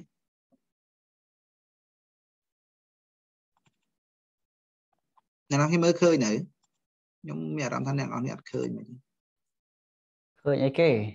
មើលឃើញ file ខ្ញុំ share នៅ share article Harvard ហ្នឹងហើយ analyze ឃើញបាទអញ្ចឹងតាមពិតដូចខ្ញុំនិយាយដំបូងឡើយ paper របស់ខ្ញុំហ្នឹងណា paper របស់ខ្ញុំហ្នឹងដំបូងដែលខ្ញុំ submit ដំបូងគឺខ្ញុំ submit ទៅ journal មួយផ្សេងមិនមែន journal ហ្នឹងទេអញ្ចឹងអានោះវា single anonymous អញ្ចឹងគឺខ្ញុំដាក់អញ្ចឹង single anonymous គឺយើងអត់អត់អត់លាក់ identity របស់យើងទេគឺ identity របស់យើងគឺយើងបង្ហាញទាំងអស់អញ្ចឹងអញ្ចឹងយើងត្រូវមាន title យើងត្រូវមាន identity របស់ author author នឹងមានប៉ុន្មានអ្នកដាក់មកបាទអានេះគឺដល់ពេលបោះពុំអាវា load យើងដាក់ទុកចោលអញ្ចឹងណាដើម្បីឲ្យមាន space ឲ្យវាមើលទៅសមរម្យថាតើពេលយើងបោះពុំរូបរាងវាមិនអញ្ចឹងបន្ទាប់មកយើងត្រូវមាន abstract អាហ្នឹងដាច់ខាតត្រូវតែមានហ្មង abstract របស់យើងមាន keyword បាទក្នុងអឺ journal ខ្លះគាត់ប្រើ keyword ទេគាត់ប្រើ description អ្នកខ្លះគាត់ប្រើស្អីចឹងណាប៉ុន្តែពាក្យទូទៅយ៉ាងគេគឺ keyword អញ្ចឹងចាប់ពីនេះមកគឺគេអត់មានបញ្ជាក់យើងថាត្រូវយើងសេអីទេ អញ្ចឹងគឺខ្ញុំអត់ទេខ្ញុំតែថាខ្ញុំរៀនខាង science ជាទៅគឺសរសេរចាប់ដើមដល់ introduction introduction ហ្នឹងតាប់ដើមខ្ញុំនិយាយតាំងពី introduce រហូតដល់យើងកំណត់បាន research problem របស់យើងចប់ត្រឹមនេះថាយើងធ្វើមិនធ្វើមិនធ្វើមិនអីចឹងទៅចង់ក្នុង research របស់យើងនេះ research problem របស់យើងគឺនៅកន្លែងនេះនេះពីរចំណុចនេះនេះ the current study ឃើញទេបាទខ្ញុំប្រើអីប្រើអីហើយខ្ញុំសម្រាប់មិនអីមិនហ្នឹងគឺអញ្ចឹងគឺនៅត្រឹមហ្នឹង ហើយចូលមកដល់ទី2គឺដោយសារខ្ញុំធ្វើ research របស់ខ្ញុំបែបពិសោធន៍អញ្ចឹងគឺខ្ញុំនិយាយពីទ្រឹស្ដីសិនអាទ្រឹស្ដីតាក់ទងជាមួយនឹងអាមេរៀនខ្ញុំពិសោធន៍ហ្នឹងស្អីគេខ្ញុំនិយាយទ្រឹស្ដីវាមកប្រាវមកចូលមកទ្រឹស្ដីអស់ហើយគឺបាទខ្ញុំអីគេនិយាយអំពីវិធីដែលខ្ញុំពិសោធន៍អញ្ចឹងយើងនិយាយពីវិធីវាស់វែងវិធីរៀបចំពិសោធន៍អីអស់ហើយបាទខ្ញុំចេញជាលទ្ធផលអញ្ចឹងនៅក្នុងលទ្ធផលនេះគឺខ្ញុំវិភាគបដាខ្ញុំនិយាយលទ្ធផលបដានៅក្នុងហ្នឹងហ្មងណា លទ្ធផលរបស់ខ្ញុំចេញមកអស់មាន data មានអីហើយចាប់បាទខ្ញុំអីគេពិភាក្សាពិភាក្សាមួយឆ្អែតអស់អីហើយគឺខ្ញុំ conclude conclude តាមជឿទៅ conclusion បើច្រើនពី paragraph បានហើយហើយបើថាល្អជាងគេគឺដាក់តែមួយបានហើយកុំដាក់ច្រើនគេអត់ចង់បានច្រើនព្រោះ conclude គឺយើងនិយាយថាយើងរកឃើញអីហើយយើង conclude ថាម៉េចចាប់អត់មានចាំបាច់បញ្ជាក់ហេតុផលទៀតទេព្រោះហេតុផលយើងនិយាយក្នុង discussion ហើយអស់ ហើយហើយចុងក្រោយគឺ reference អស់ណាបាទអញ្ចឹងអាហ្នឹងគឺ paper មួយប៉ុន្តែដោយសារអានេះខ្ញុំ submit ទៅអា single anonymous គឺខ្ញុំអញ្ចឹងប៉ុន្តែដល់ពេលខ្ញុំ submit ឡើងវិញដោយសារដូចខ្ញុំនិយាយខ្ញុំត្រូវបានគេ reject អាក្នុងហ្នឹងគឺខ្ញុំ resubmit អញ្ចឹងនៅពេលដែលខ្ញុំ resubmit ខ្ញុំត្រូវកែទៅតាមអាថ្មីហ្នឹងអឺគឺថ្មីហ្នឹងគេតម្រូវឲ្យមានអឺអត់ឲ្យមាន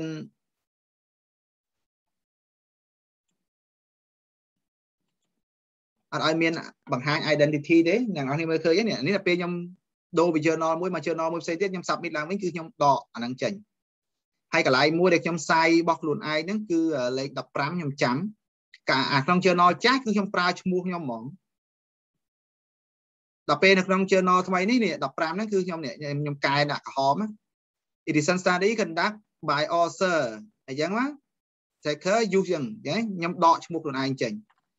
ណាគឺសរសេរក្នុងន័យអញ្ចឹងចិត្តពិតអាលេខ5ហ្នឹងគឺឈ្មោះខ្ញុំហីគឺ paper របស់ខ្ញុំហីប៉ុន្តែខ្ញុំសរសេរឲ្យគេអានទៅដឹងថាអាហ្នឹងជារបស់ខ្ញុំហីចង់និយាយអញ្ចឹងអញ្ចឹងអាហ្នឹងដែលខ្ញុំចង់បង្ហាញសំខាន់អញ្ចឹងមានកន្លែងហ្នឹងមួយដែលបើគេបើខ្ញុំសរសេរដោយអា paper ចាស់ paper ចាស់ខ្ញុំនៅអត់ខ្ញុំមើលសិនលុបបាត់ទៀតហើយជប់ជប់ជប់ខ្ញុំសុំបង្ហាញតិចណាខ្ញុំខ្ញុំចង់បង្ហាញថាតើខ្ញុំទៅសេអាលើកមុនវាមិន អ្នកនរនេះមើលគឺអាចាស់ហ្នឹងអូខេ screen នេះអាចាស់របស់ខ្ញុំ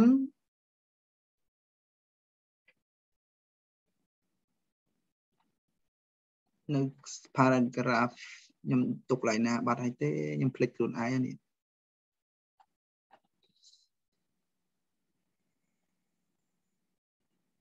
នេះសង្ស័យខ្ញុំកែហើយជប់ខ្ញុំមើលតិចណា clear នេះនេះនៅ clear ហ្នឹងហ្នឹងហើយ clear ដដែលអ្នកគ្នាមើលឃើញហ៎ A recent study conduct by author ណា on អាហ្នឹងអាហ្នឹងនិយាយឃើញខ្ញុំដាក់នេះអា topic ចាស់ខ្ញុំបាទន័យថាអា topic ដែលខ្ញុំដាក់ហ្នឹងគឺខ្ញុំធ្លាប់ author ធ្លាប់ធ្វើមួយនៅលើអា topic នេះ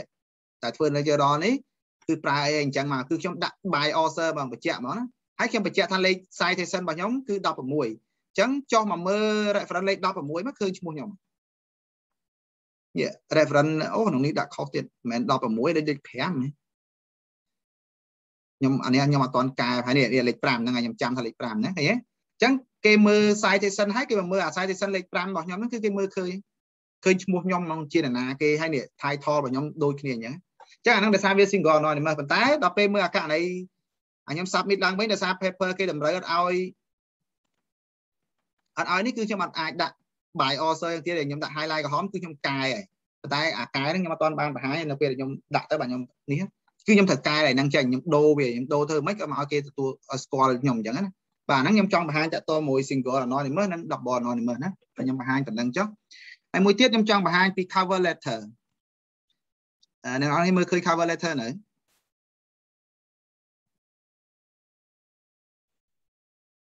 ឃើញបាទ អូខេអញ្ចឹង cover letter គឺជាទូទៅយើងទៅសេទៅ editor ណាអញ្ចឹង editor សួរថាចុះយើងធ្វើមិនស្គាល់ editor អាហ្នឹងគឺនៅក្នុង page របស់គេនៅពេលដែលយើងចូលមើល page របស់គេយើងត្រូវតែរកឲ្យឃើញថាយើងអាចទៅសេ dear sir madam ទេចំពោះគេគេអត់ទៅសុបាយចិត្តទេណាអញ្ចឹងត្រូវតែមើលឲ្យឃើញអ្នកណាជា editor ហ្នឹងអ្នកណាជា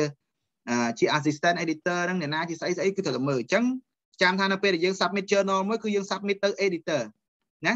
ហើយនៅក្នុង editor មានតួនាទីគេទៀតអញ្ចឹងគឺយើង submit ហ្នឹង submit ទៅប្រធាន editor ហ្នឹងមកអញ្ចឹងយើងត្រូវតែមើលថាឈ្មោះរបស់គេហ្នឹងអីគេអានេះ journal physics នេះ journal នេះដែលខ្ញុំចង់បោះហ្នឹងណាហើយគេ reject ខ្ញុំហ្នឹងគឺឈ្មោះគាត់ហ្នឹងទីទៀតខ្ញុំបង្ហាញ journal មួយផ្សេងដែលគាត់ខ្ញុំបោះពីមុនហ្នឹងគឺ journal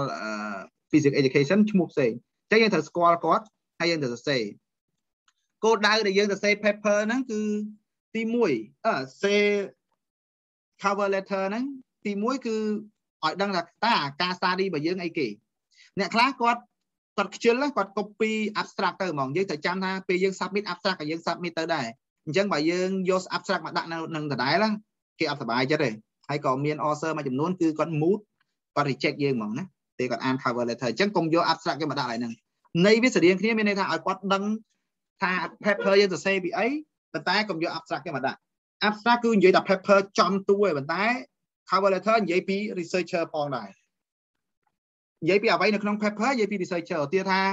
ឡូវដូចខ្ញុំមិញខ្ញុំប្រាប់ថាតាមពិត journal របស់ខ្ញុំហ្នឹងគឺខ្ញុំធ្លាប់បោះពុំអា method ហ្នឹងមួយនៅក្នុងអា essay ហ្នឹងគឺខ្ញុំត្រូវទៅសេរៀបរាប់នៅក្នុងហ្នឹងដែរហើយខ្ញុំចង់គំនិតខ្ញុំចង់គិតអីគិតអីនៅលើហ្នឹងគឺយើងត្រូវសេទាំងអស់ប្រាប់ឲ្យគេដឹងឲ្យហើយអស់ឧទាហរណ៍ថាឥឡូវខ្ញុំថាតាមពិតខ្ញុំចង់ reveal អាអាអឺ identity របស់ខ្ញុំឯងព្រោះខ្ញុំចង់ឲ្យគេអ្នកអានហ្នឹងមើលដឹងថា អា paper របស់ខ្ញុំខ្ញុំធ្វើបន្តគ្នាអញ្ចឹងប៉ុន្តែខ្ញុំអាចបង្ហាញទៅ reviewer បានដោយសារ journal ហ្នឹង require អញ្ចឹងខ្ញុំសុំសិទ្ធរបស់គាត់ពីមុនឲ្យថាពេលខ្ញុំដាក់នៅហ្នឹងពេលខ្ញុំដាក់ឲ្យ review គឺខ្ញុំអត់ដាក់ឯប៉ុន្តែនៅពេលដែលទទួលបានបោះពុំហើយមុនពេលបោះពុំខ្ញុំសុំកែឡើងហ្នឹងអញ្ចឹងអញ្ចឹងទាំងអស់ហ្នឹងគឺយើងអាចទៅសេនៅក្នុងនៅក្នុង editor នៅក្នុង cover letter បានណាអញ្ចឹងសំខាន់ទីគេទី1គឺ topic របស់យើងធ្វើអំពីអីណាណាខ្លះជា author ហ្នឹងផ្នែកទី1 ផ្នែកទី2គឺសិក្សារបស់យើងហ្នឹងគឺសិក្សាទៅលើអីគេអត់ខ្លាំងជាងគេរៀបរាប់ឲ្យអស់មកហើយវាមានសារៈប្រយោជន៍អីគេអាការសិក្សាហ្នឹងហើយអាសារៈប្រយោជន៍ហ្នឹងគឺយើងត្រូវសរសេរបង្ហាញគេណាហើយដូចហេតុផលដូចមិញដូចហេតុផលមិញហ្នឹងគឺយើងអាចសរសេរប្រាប់គេដែរហើយមួយទៀតយើងត្រូវ clarify ឲ្យច្បាស់ថា manuscript របស់យើងគឺស្ថិតនៅក្នុង scope របស់គេហើយ scope របស់គេកន្លែងណាមានអីគេខ្លះគឺយើងត្រូវលើកឧទាហរណ៍ដូចពាក្យបើយើងករណី យើងទៅស្អីទៅស្រាប់តែលើសពី3000ពាក្យចឹងយើងត្រូវតែប្រាប់គេឡើងហ្នឹងបើយើងសេក្រោម3000ពាក្យមិនបាច់និយាយអីក៏បានដែរតែបើយើងសេលើ3000ពាក្យយើងត្រូវបង្ហាញហេតុផលអីគេដោយសារស្អីស្អីយើងទៅយើងបញ្យល់ថាអូខេហើយយើងបានមើលឃើញថាហ្នឹងវាតែ3000ពាក្យប៉ុន្តែដោយសារខ្លឹមសាររបស់យើងវាសំខាន់ចេះចេះយើងពិបាកដកឡើងនេះអញ្ចឹងធ្វើយើងលើសប្រហែល100ពាក្យលើសប្រហែលអីយើងត្រូវទៅសេឡើងហ្នឹងឲ្យហើយបើយើងអត់ express ឡើងហ្នឹងទេហើយនៅពេលដែលគេរកឃើញអាហ្នឹងអាហ្នឹងគឺយើងអាចបន្ថយនឹងការអឺ ប្រឈមជាមួយនឹងការដែលគេ reject យើងអញ្ចឹងអាទាំងអស់ហ្នឹងយើងអាចសរសេរអញ្ចឹងសំខាន់ទី1គឺ author ជានរណាគេខ្លះហើយធ្វើលើ topic ហ្នឹងធ្វើយ៉ាងអីគេ research របស់យើងមានធ្វើពីរឿងអីគេខ្លះហើយមានសារៈសំខាន់អីខ្លះហើយចុងក្រោយគឺ scope របស់យើងតើយើងបានគ្រប់ scope ណាខ្លះរបស់គេហើយបើយើងលើសលួសអីគឺយើងត្រូវប្រាប់គេអញ្ចឹងយើងទៅសេប្រាប់គេអញ្ចឹងគោលដៅនៃ cover letter គឺឡើងហ្នឹងហើយចុងក្រោយគឺអរគុណគេសម្រាប់គេចំណាយពេលទៅលើការអានរបស់យើងអីចឹងទៅហើយឈ្មោះ author មានប៉ុន្មានដាក់មកទាំងអស់មក ណាប៉ុន្តែ main author នៅលើគេណាបាទហ្នឹងគឺជាទម្រង់នៃ cover letter ណាប៉ុន្តែអត់អត់គ្រប់ journal require អាហ្នឹងឯង journal ខ្លះគេតម្រូវដូចខ្ញុំនិយាយ CV អញ្ចឹងយើងយកអា CV ដូចការងារទៅដាក់ក៏បានដែរធ្វើម៉េចគេអាចស្គាល់យើងអញ្ចឹងទៅអូខេអញ្ចឹងខ្ញុំសូមបន្តទៅ slide យើងវិញបាទអញ្ចឹងអាហ្នឹងគឺដំណាក់កាលទី1ដំណាក់កាលព្រៀងគឺយើងត្រូវតែមាន manuscript មួយអាពង្រៀងអត្ថបទស្រាវជ្រាវនឹងមួយហើយនឹង cover letter ឬក៏ CV ហើយក៏ប្រហែល journal ខ្លះ គេអត់តម្រូវទាំងពីរគេអត់ចង់បានទាំងពីរគេឲ្យយើងទៅសេថាសង្ខេបខ្លីមក paragraph អីទេអាហ្នឹងណាបាទអាហ្នឹងអាស្រ័យលើ journal ខ្ញុំអត់អាចអញ្ចឹងនៅពេលដែលយើងមានអាពីរហ្នឹងហើយគឺយើងអាចទៅ log in ដើម្បី submit បានហើយអញ្ចឹងណាអញ្ចឹង log in submit ខ្ញុំបានបង្ហាញទៅរូបភាពមិញហ្នឹងគឺយើងចូលទៅ submit អញ្ចឹង submit ជាទូទៅយើង submit manuscript វាដឹងតែមានមួយហើយប៉ុន្តែ abstract យើង submit ដាច់ delete មួយផ្សេងទៀត keyword យើង submit ដាច់ delete ផ្សេងទៀត cover letter អូ cover letter ខ្ញុំផ្សេងខំ cover letter មួយដាច់ delete ទៀតនៅក្នុង block block ដែលគេដាក់ឲ្យហ្នឹងណាបើទោះជា manuscript យើងមានអាហ្នឹងហើយទាំងអស់ក៏ដោយមាន abstract មាន keyword មានអីហ្នឹងហើយក៏ដោយប៉ុន្តែពេលយើង submit គឺ abstract submit delete keyword submit delete ពីព្រោះអាហ្នឹងនៅពេលដែលគេ submit online គេយកទៅ view គេមិនយកអា paper យើងទៅ view គេយកអស់ហ្នឹងទៅ view ហើយ keyword វាសំខាន់ដល់អីសំខាន់ដល់ពេលយើង search អញ្ចឹងដោយ topic របស់ខ្ញុំបងប្អូនគ្នាចូលទៅក្នុងអឺ search ឧទាហរណ៍ ណាចេះ internet បាទចូលនេះចុះបាទជាថាយើងចូល Scholar ដោយរបស់ខ្ញុំគឺ interface អឺខ្ញុំយកអា topic ថ្មីនេះអត់ទេ topic របស់ខ្ញុំគឺ do play effect នេះខ្ញុំបាយតែ do play effect ជាមួយនឹង video analysis មានន័យថា keyword របស់ខ្ញុំមានច្រើនតែខ្ញុំវាយតែ2ឯងខ្ញុំគាត់តែវាយ2នឹងពី load paper ខ្ញុំមកបាត់ហើយនេះវា highlight ឲ្យតែ keyword ទី1គឺ do play effect keyword ទី2គឺ video អញ្ចឹងអា keyword ហ្នឹងសំខាន់ណាស់គេអត់ស្គាល់ topic យើងអីគេគ្រាន់គិតថាមានអ្នកណាធ្វើ research លើ display effect អត់មានអ្នកណាប្រើ method video អត់គេគាត់នឹកឃើញ keyword ពីរហ្នឹងគេវាយទៅបើមានអ្នកធ្វើមែនវា load មកអញ្ចឹងអញ្ចឹងគឺរកបានលឿនមែនតើអញ្ចឹងដូចរបស់ខ្ញុំនេះគឺ load មកហ្មងឃើញទេអាហ្នឹងអា keyword ហ្នឹងគឺសំខាន់អញ្ចឹងបើយើងអត់ submit អា keyword ហ្នឹងនៅក្នុងអា block keyword ពេលយើង search ហ្នឹងវាអត់ឃើញទេអា keyword នៅក្នុង អាអត្ថបទរបស់យើងនោះគឺវាគាត់ជា text ធម្មតាដែលអត់អាចទាញមករកអាហ្នឹងបានអញ្ចឹងអាហ្នឹងគេយកមកដាក់នៅហ្នឹងដើម្បីយើងពេលយើង search វាស្រួលអញ្ចឹងអូខេ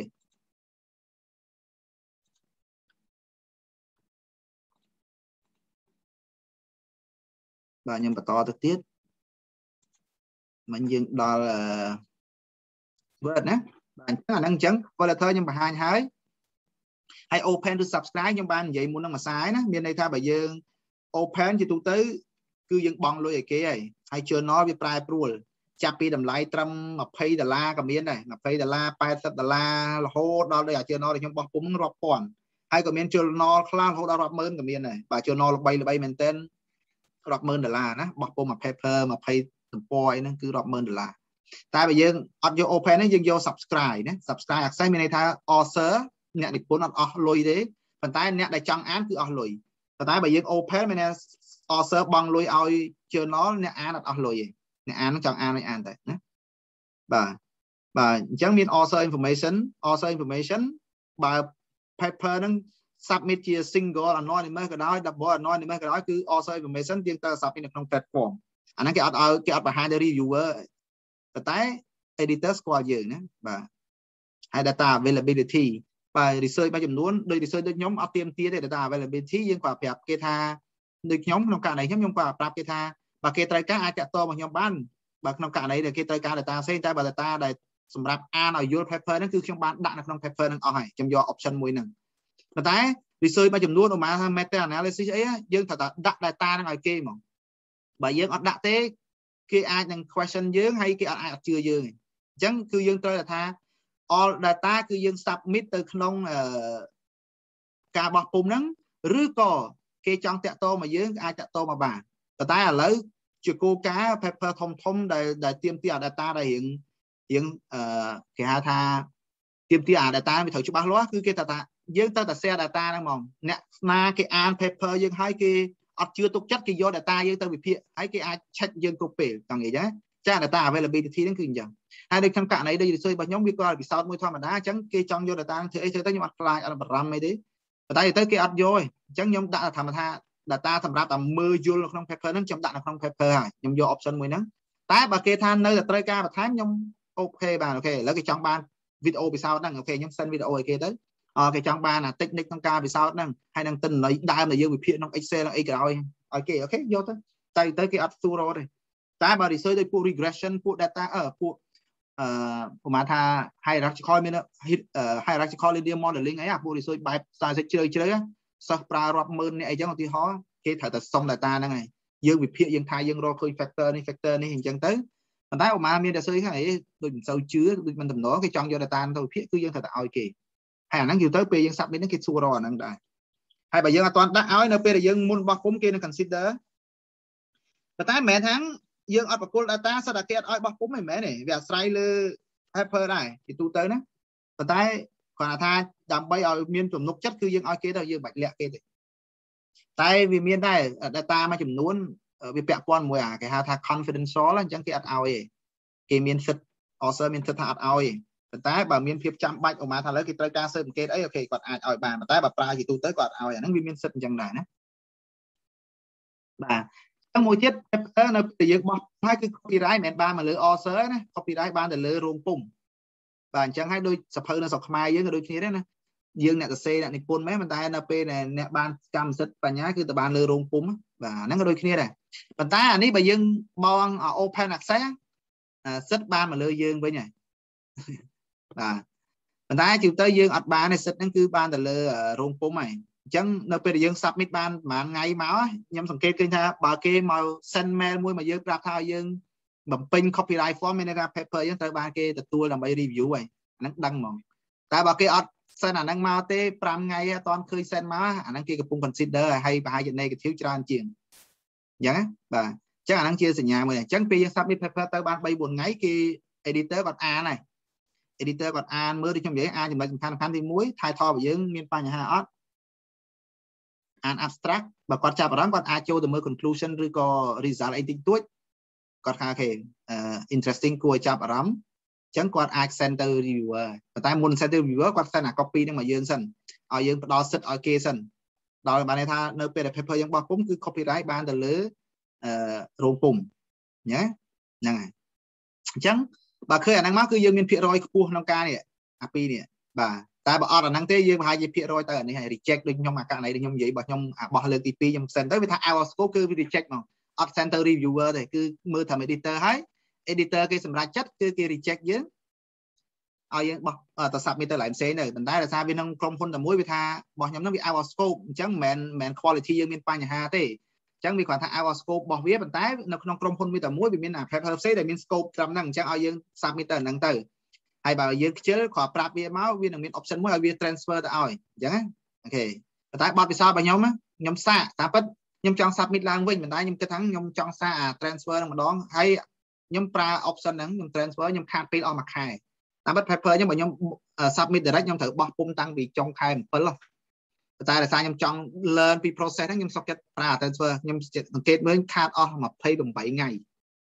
ចឹងបទពិសោធន៍ខ្ញុំកុំ transfer អីបើយើងស្គាល់ paper នឹងដែរខ្លួនឯងយើង reject គេទៅថាយើងអត់ submit ទៅអាហ្នឹងឯងតែធៀបពិតយកពីហ្នឹងមកយើង submit ឡើងវិញខ្លួនឯងថ្មីហ្មងយើងបាននេះយើង submit ទៅ paper ហ្នឹងតែយើង submit ក្នុងនាមជា paper ថ្មីមិនមិនដាច់ចាំបាច់គេ transfer ឲ្យទេ transfer ខាតពេលហើយការងារមួយចំនួនត្រូវធ្វើឡើងវិញទាំងអស់អញ្ចឹងមិនបាច់ទេ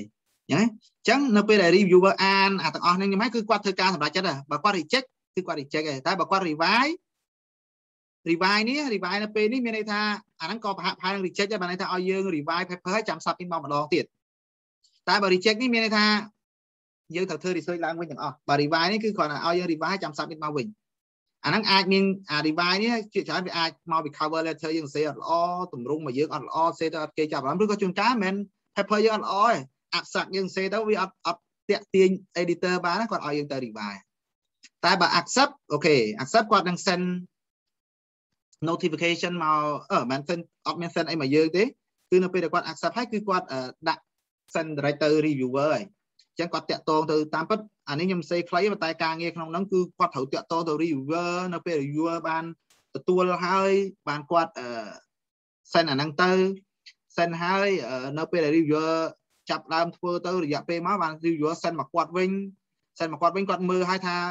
បើ comment របស់ reviewer នឹងអាចទទួលបានបានគាត់ send មកឲ្យ author នេះពេលនេះបានយើងទទួលបាន notification ហើយនៅក្នុងនេះជឿទៅគឺយើងអត់ដឹងរឿងឯក្នុងនេះអូអា reject នេះយើងដឹងរឿងណាបាទបតាក្នុងនេះគឺដឹងរឿងហើយក្នុងហ្នឹងគឺ process ច្រើនណាក្នុងការងាររបស់ពួកគាត់ហ្នឹង process ច្រើនណាបាទអញ្ចឹងខ្ញុំសរសេរខែផ្លៃខ្លីហ្នឹងមានន័យថាបើគាត់ accept គឺគាត់ send ទៅ reviewer reviewer គាត់ចំណាយពេលមួយអាទិត្យពីរអាទិត្យអ្នកខ្លះឲ្យ2 3ខែក៏មានដែរហើយអាអ្នក reviewer ខ្លះគាត់អត់មាន code of conduct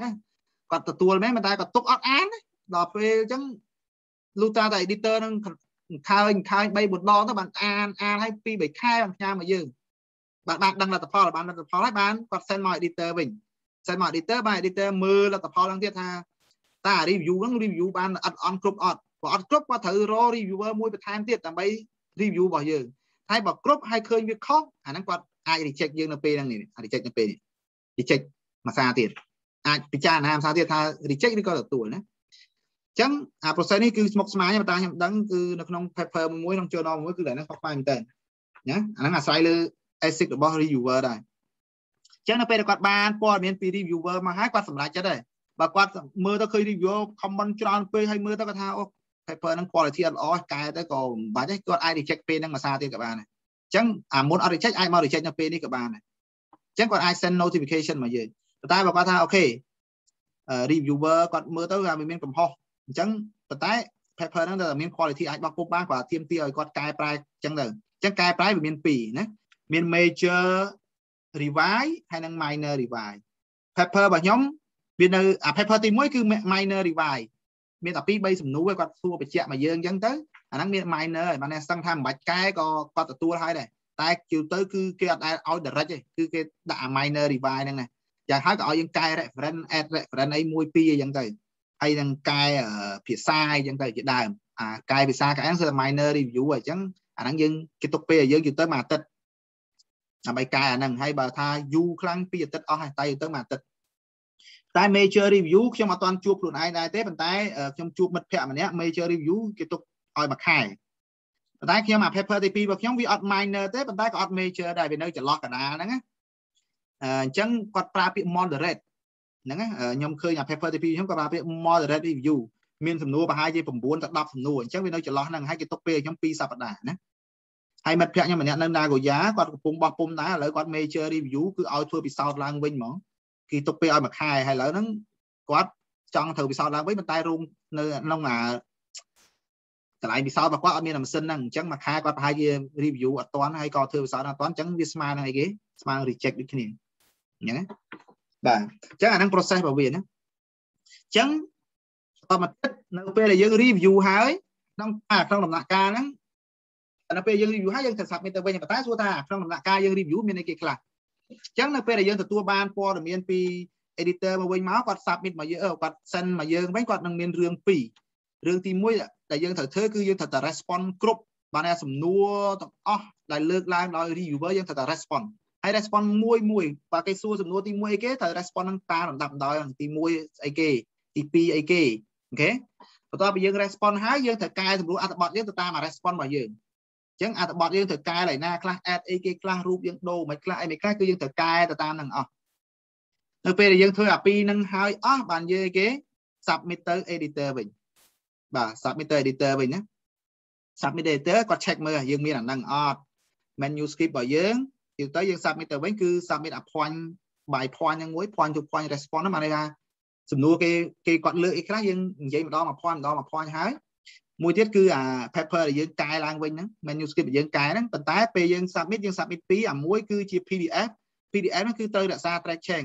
អា track chain នេះបើខ្ញុំសួរបទពិសោធន៍វាអាស្រ័យលើ author ដែរអាស្រ័យលើ journal ដែរ journal ខ្លះគេអត់ទៀមទីអានេះទេយើងកែឲ្យគេសួររកតែអានេះទេនេះ ប៉ុន្តែគ្រាន់តែមួយគេឲ្យ submit ជា Word ដែលអាចកែបានអាមួយទៀតជា PDF ហើយអា PDF នេះគឺគេ send ទៅ reviewer ដើម្បីគាត់មើលឡើងវិញថាតើយើងកែនឹងពេញចិត្តគាត់អត់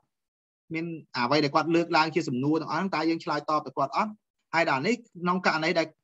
reviewer គាត់ accept អ្វីដែលយើងកែគឺគេយក original នេះទៅរៀបចំបោះពុំតែអញ្ចឹងណាប៉ុន្តែដល់ករណី OIP គឺគាត់ទៀមទាឲ្យមើលឲ្យដាក់ track chain ឲ្យគាត់ទៀតដើម្បីដឹងថាតើយើង chain អីគេខ្លះ យើង respond ទៅ reviewer គឺយើង respond ប៉ុន្តែគាត់ចង់ដឹងថាយើង chain មិនទៀត structure នឹងវាដូរមិនអីមិនជួនកាលគាត់ខ្លាចយើងកែខុសពីអ្វីដែលគាត់ចង់ឲ្យកែអញ្ចឹងគេមើលអាហ្នឹងទៀតអញ្ចឹងអាហ្នឹងពិសេសមួយព្រោះខ្ញុំធ្លាប់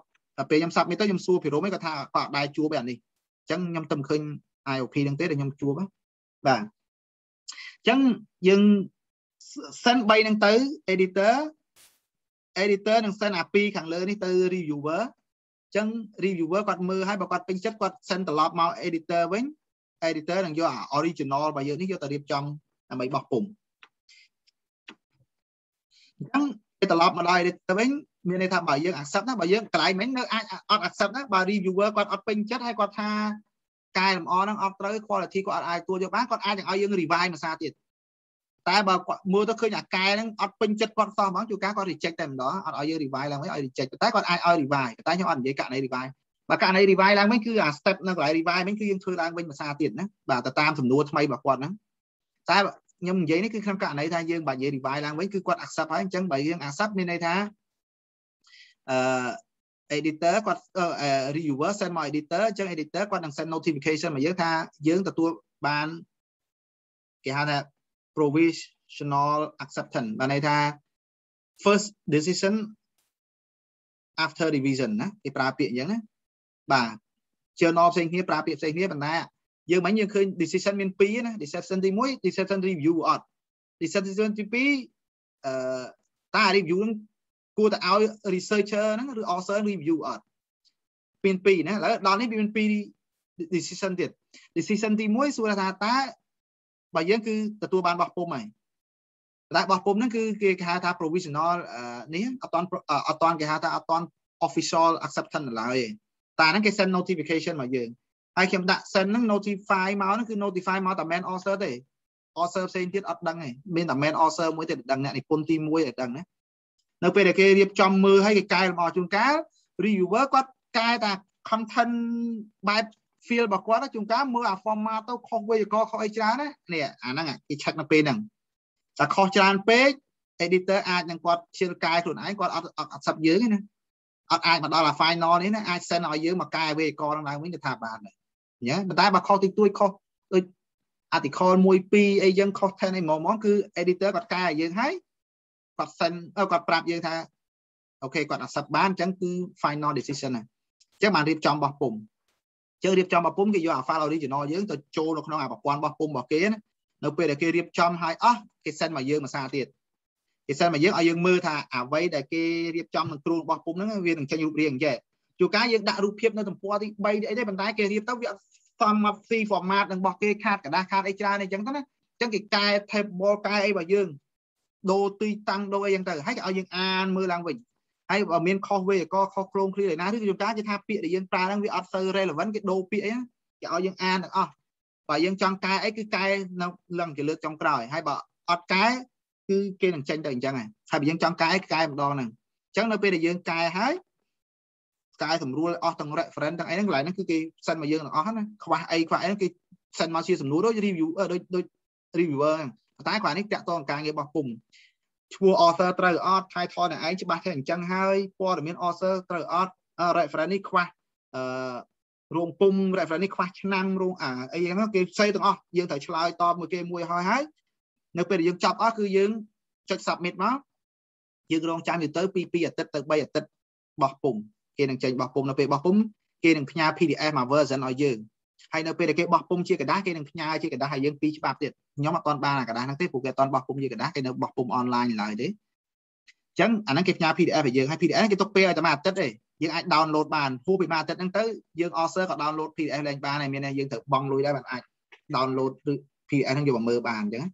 អាហ្នឹងគឺចប់មកការងារបោះពុំហ្នឹងអញ្ចឹងខ្ញុំខ្ញុំបង្ហាញទៅមើលអាអាតើអាផ្លាញ់ជប់អញហ្នឹងវាមិនរូបទាំងវាមិនហើ យអាអា texture ហើយនឹងអា original ហ្នឹងមិនខ្ញុំបង្ហាញមើលបន្តិចណាបាទ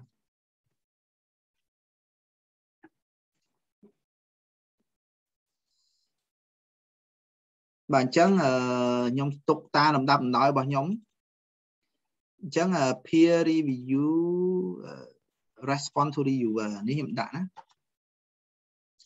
បាទអ្នកនរមើលឃើញទេ ស្ងាត់និយាយតែឯងស្ងាត់ដេកលក់អស់ដឹងហើយឃើញដែរឃើញបងឃើញបងបាទអត់លឺឆ្លើយខ្ញុំខ្លាចដេកលក់អស់និយាយទៅយូរនិយាយចាប់បាទចាប់បាត់តែឯងអីតែឯងដែរនិយាយតែឯងបាទនេះអឺ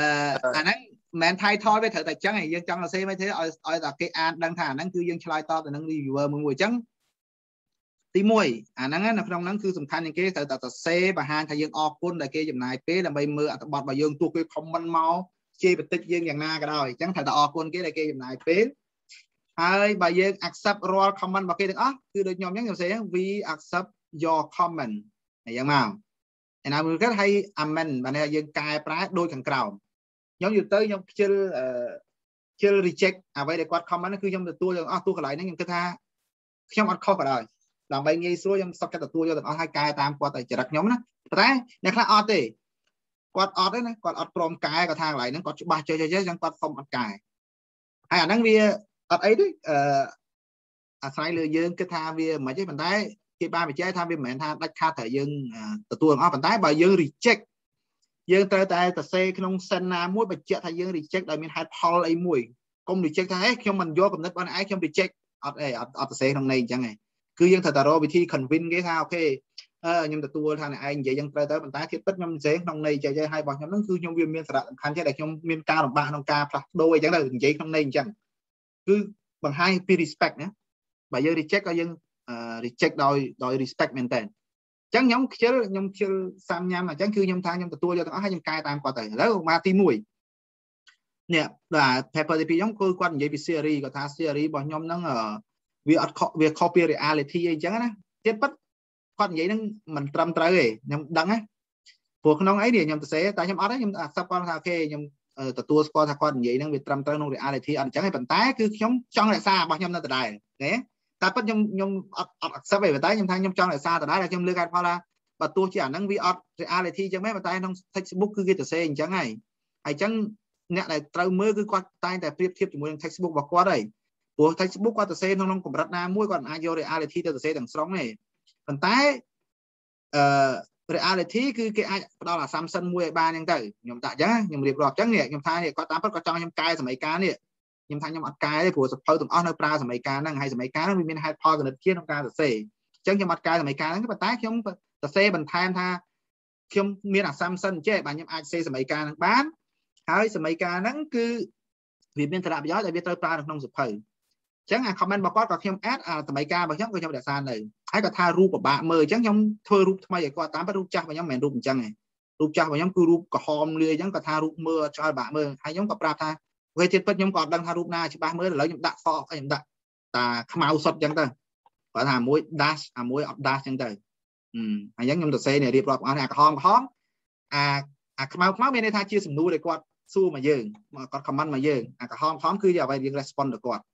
ចឹងយើង respond អញ្ចឹងអញ្ចឹងមានន័យថាអាក្រហមក្រហមហ្នឹង respond ហ្នឹងមានន័យថានៅក្នុង text របស់យើងគឺកន្លែងហ្នឹងគឺត្រូវដូរត្រូវកែទៅតាមអាក្រហមហ្នឹងទាំងអស់ហើយបើយើងកែពាក្យណាមួយតូចតាយអីទាំងអស់គឺយើងត្រូវទៅសេនៅក្នុងហ្នឹងទាំងអស់អា respond ហ្នឹងណាប្រហែលថាអូខេនៅកន្លែងនោះមួយកិរិយាសព្ទខ្ញុំមើលឃើញថាវាភ្លេច s ខ្ញុំបានថែម s ត្រូវទៅសេឡើងហ្នឹង highlight ឲ្យគេអញ្ចឹងណាឬក៏យើងបាច់ highlight ទេប៉ុន្តែនៅក្នុង track chain យើងបញ្ជាក់យើងដាក់នៅក្នុង comment របស់ track chain ហ្នឹងទៅអញ្ចឹងនេះយើងឆ្លើយម្ដងមកសំណួរម្ដងមកសំណួរនេះគាត់ប្រាប់ថា សម័យកាលហ្នឹងគួរតែ add អានេះអីចឹងទៅអូខេយើងព្រម add តាមគាត់អីចឹងទៅហើយយើងទៅសេ text ហ្នឹងចេះយើងមិនមែនថាយើង add ហើយក្នុង text ហ្នឹងយើងកែមិនយើងអត់ប្រាប់ទេណាយើង add ហើយក្នុង text យើងសរសេរចេះគេយើងបង្ហាញប្រាប់គាត់ចឹងយើងទទួលយកអាហ្នឹងហើយនៅក្នុង text យើងធ្វើមិនយើងទៅហើយមកអស់ហើយមកអស់មកចប់អស់អាហ្នឹងយើងទុកមួយបន្ទាប់ពីទុកអាហ្នឹងមួយហើយគឺយើងមកកែកែ menu script របស់យើងឥឡូវខ្ញុំបង្ហាញ menu script ដែលខ្ញុំកែម្ដងខ្ញុំកែបង្ហាញអា track chain ទៅបានអញ្ចឹង track chain មើលណា នេះអ្វីដែលខ្ញុំក្រហមហ្នឹងគឺខ្ញុំពុះចោលហ៎ហើយខ្ញុំត្រូវកែតាមអាអត្ថបទថ្មីនេះអត្ថបទថ្មីរបស់ខ្ញុំនេះរូបអារូបចាស់របស់ខ្ញុំខ្ញុំលុបចោលខ្ញុំដាក់អារូបថ្មីនេះចូលណាអញ្ចឹងកែស្អីក្នុងហ្នឹងប្រហែលគឺដាក់មកវិញទាំងអស់ដាក់មកអញ្ចឹងដើម្បីឲ្យគាត់មើលដឹងយើងកែនេះអានេះអាគាត់ comment ថាខ្ញុំកែអាធំខ្លាំងជាងឡាំដានេះខ្ញុំកែមិនខ្ញុំកែដាក់មកក្នុង question ណា កែស្អីលុបស្អីហ្នឹងគឺដាក់ឲ្យគេមើលទាំងអរហូតដល់ចុងក្រោយសូម្បីតែ reference របស់យើងធម្មតាតែពេលយើងកែទៅអាច add reference time អីដូចខ្ញុំខ្ញុំកាក់នេះខ្ញុំកែខ្ញុំ add reference time 13ដើម្បី support ទៅក្នុង idea ដែលខ្ញុំសរសេរថ្មីហ្នឹងអញ្ចឹងថែម reference អញ្ចឹងទៀតណាអញ្ចឹងគឺត្រូវឲ្យទាំងអស់សរសេរអារៀបរាប់ប្រាប់គេមួយមួយហើយអាក្នុងអត្ថបទនេះកែមិនត្រូវបង្ហាញគេណាបាទអញ្ចឹងមើលឡើងក្រហមប្រាក់យើងមើលអីចេះបានដឹងថាកែមែនទេណាអាក្រហមក្រហមសកន្លែងកែ ណាគាត់ថាមើលឲ្យរូបរាងទៅដឹងហ្នឹងបាទអញ្ចឹងកែច្រើនហ្នឹងហ្នឹងហើយគាត់ឲ្យ add ពី paragraph នេះពី paragraph នេះធ្ងន់ធ្ងរមែនតើតែខ្ញុំទៅទៀមទាដើម្បីថែមដល់ reference 3ទៀតណាគឺអានឡើងវិញអូខេអាហ្នឹងអញ្ចឹងណាបាទហើយដល់ពេល original ខ្ញុំបង្ហាញ original ដែរចុះប៉ុន្តែ original មានន័យថាគេទុកប្រើតែពេលបោះពុំឯងអញ្ចឹងគឺយើងលុប track chain លុបអីអស់គឺស្អាតបានអញ្ចឹង អ្នកនរគ្នាមើលឃើញជប់ខ្ញុំអត់បានមើលឃើញមើលឃើញ file word ក្រោយនេះបាទអានេះ original គឺវា original អញ្ចឹងហ៎ឃើញតែដោយសារ original យើងអត់ send ទៅ reviewer ឯងគឺយើងទុកឲ្យតែ editor សម្រាប់សរសេរបោះពុំជាងអា original គឺយើងដាក់ reveal របស់ information របស់របស់យើងហើយរូបរាងដែលនឹងចេញនឹងបោះពុំនឹងឃើញរូបរាងស្តៀងហ្នឹងណាវាខុសគ្នាតិចតួចអាចខុសគ្នាទីតាំងរូបភាពអីហ្នឹងដូចខ្ញុំនិយាយគេនឹងដូរ ទៅតាម format ដែលគេអាចរៀបចំបានអញ្ចឹងអានេះគឺកែហើយអស់ហ្នឹងស្អាតអញ្ចឹងអញ្ចឹងយើង send អាមួយសម្រាប់ center reviewer អាមួយ center ត្រឹម editor ឯងណាហើយដល់អា process process អាកែលម្អចុងក្រោយគេមាន platform ផ្សេងអាហ្នឹងខ្ញុំអត់អាចអត់អាចមានបង្ហាញកើតអាហ្នឹងពេលគេ send មកគេ send ឲ្យយើងយើង edit ហើយចុច submit គឺយើង access ឡើងបានហើយអញ្ចឹងវាអត់មានអីទេប៉ុន្តែគាត់ថាយើងអាចមើល PDF មួយគេអាចផ្ញើជា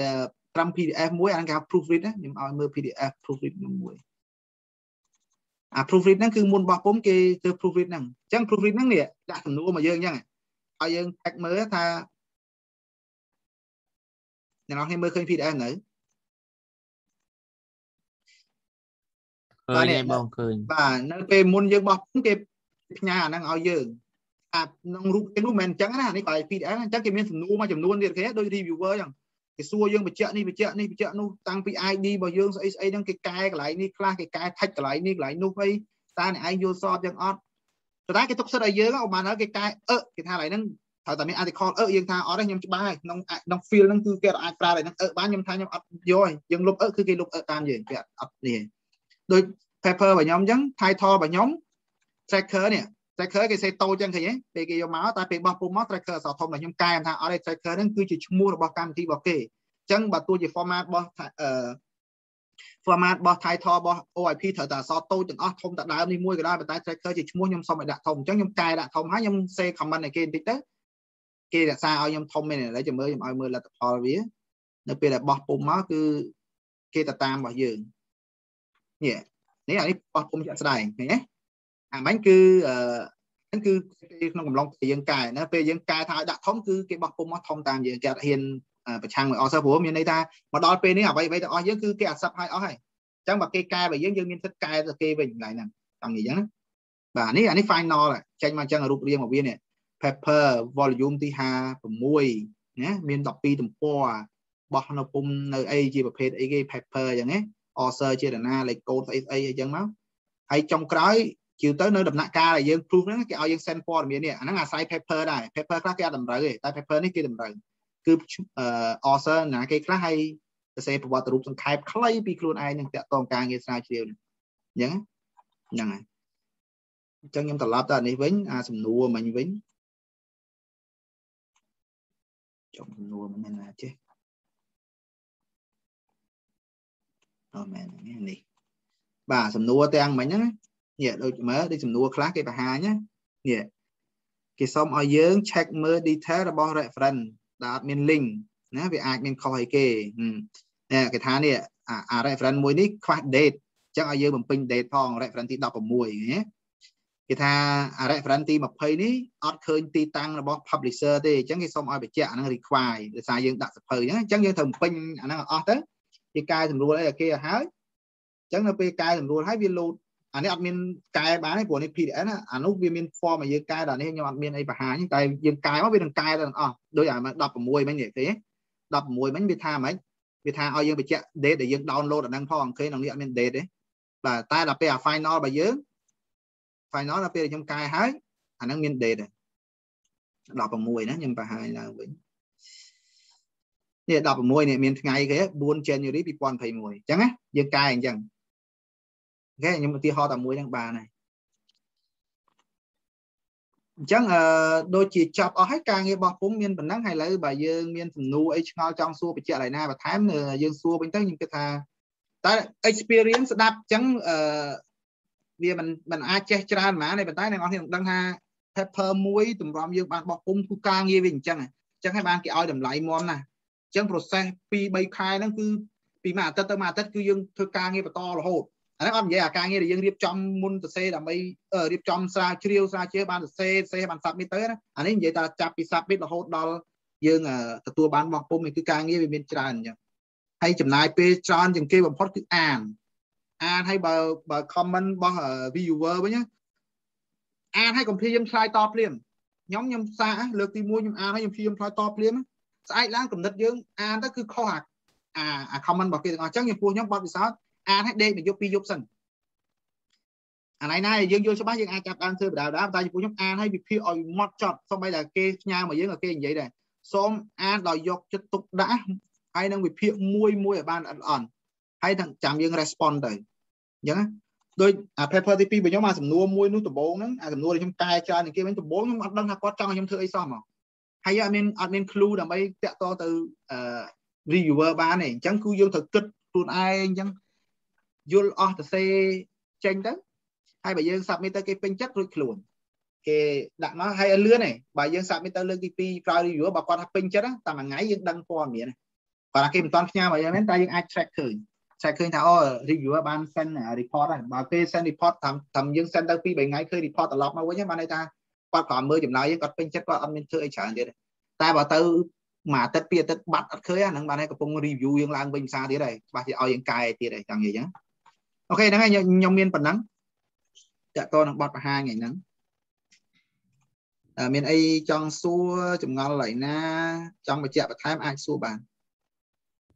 ពាក់ពាក់ព័ន្ធកន្លែងក៏ជើញបងជើញ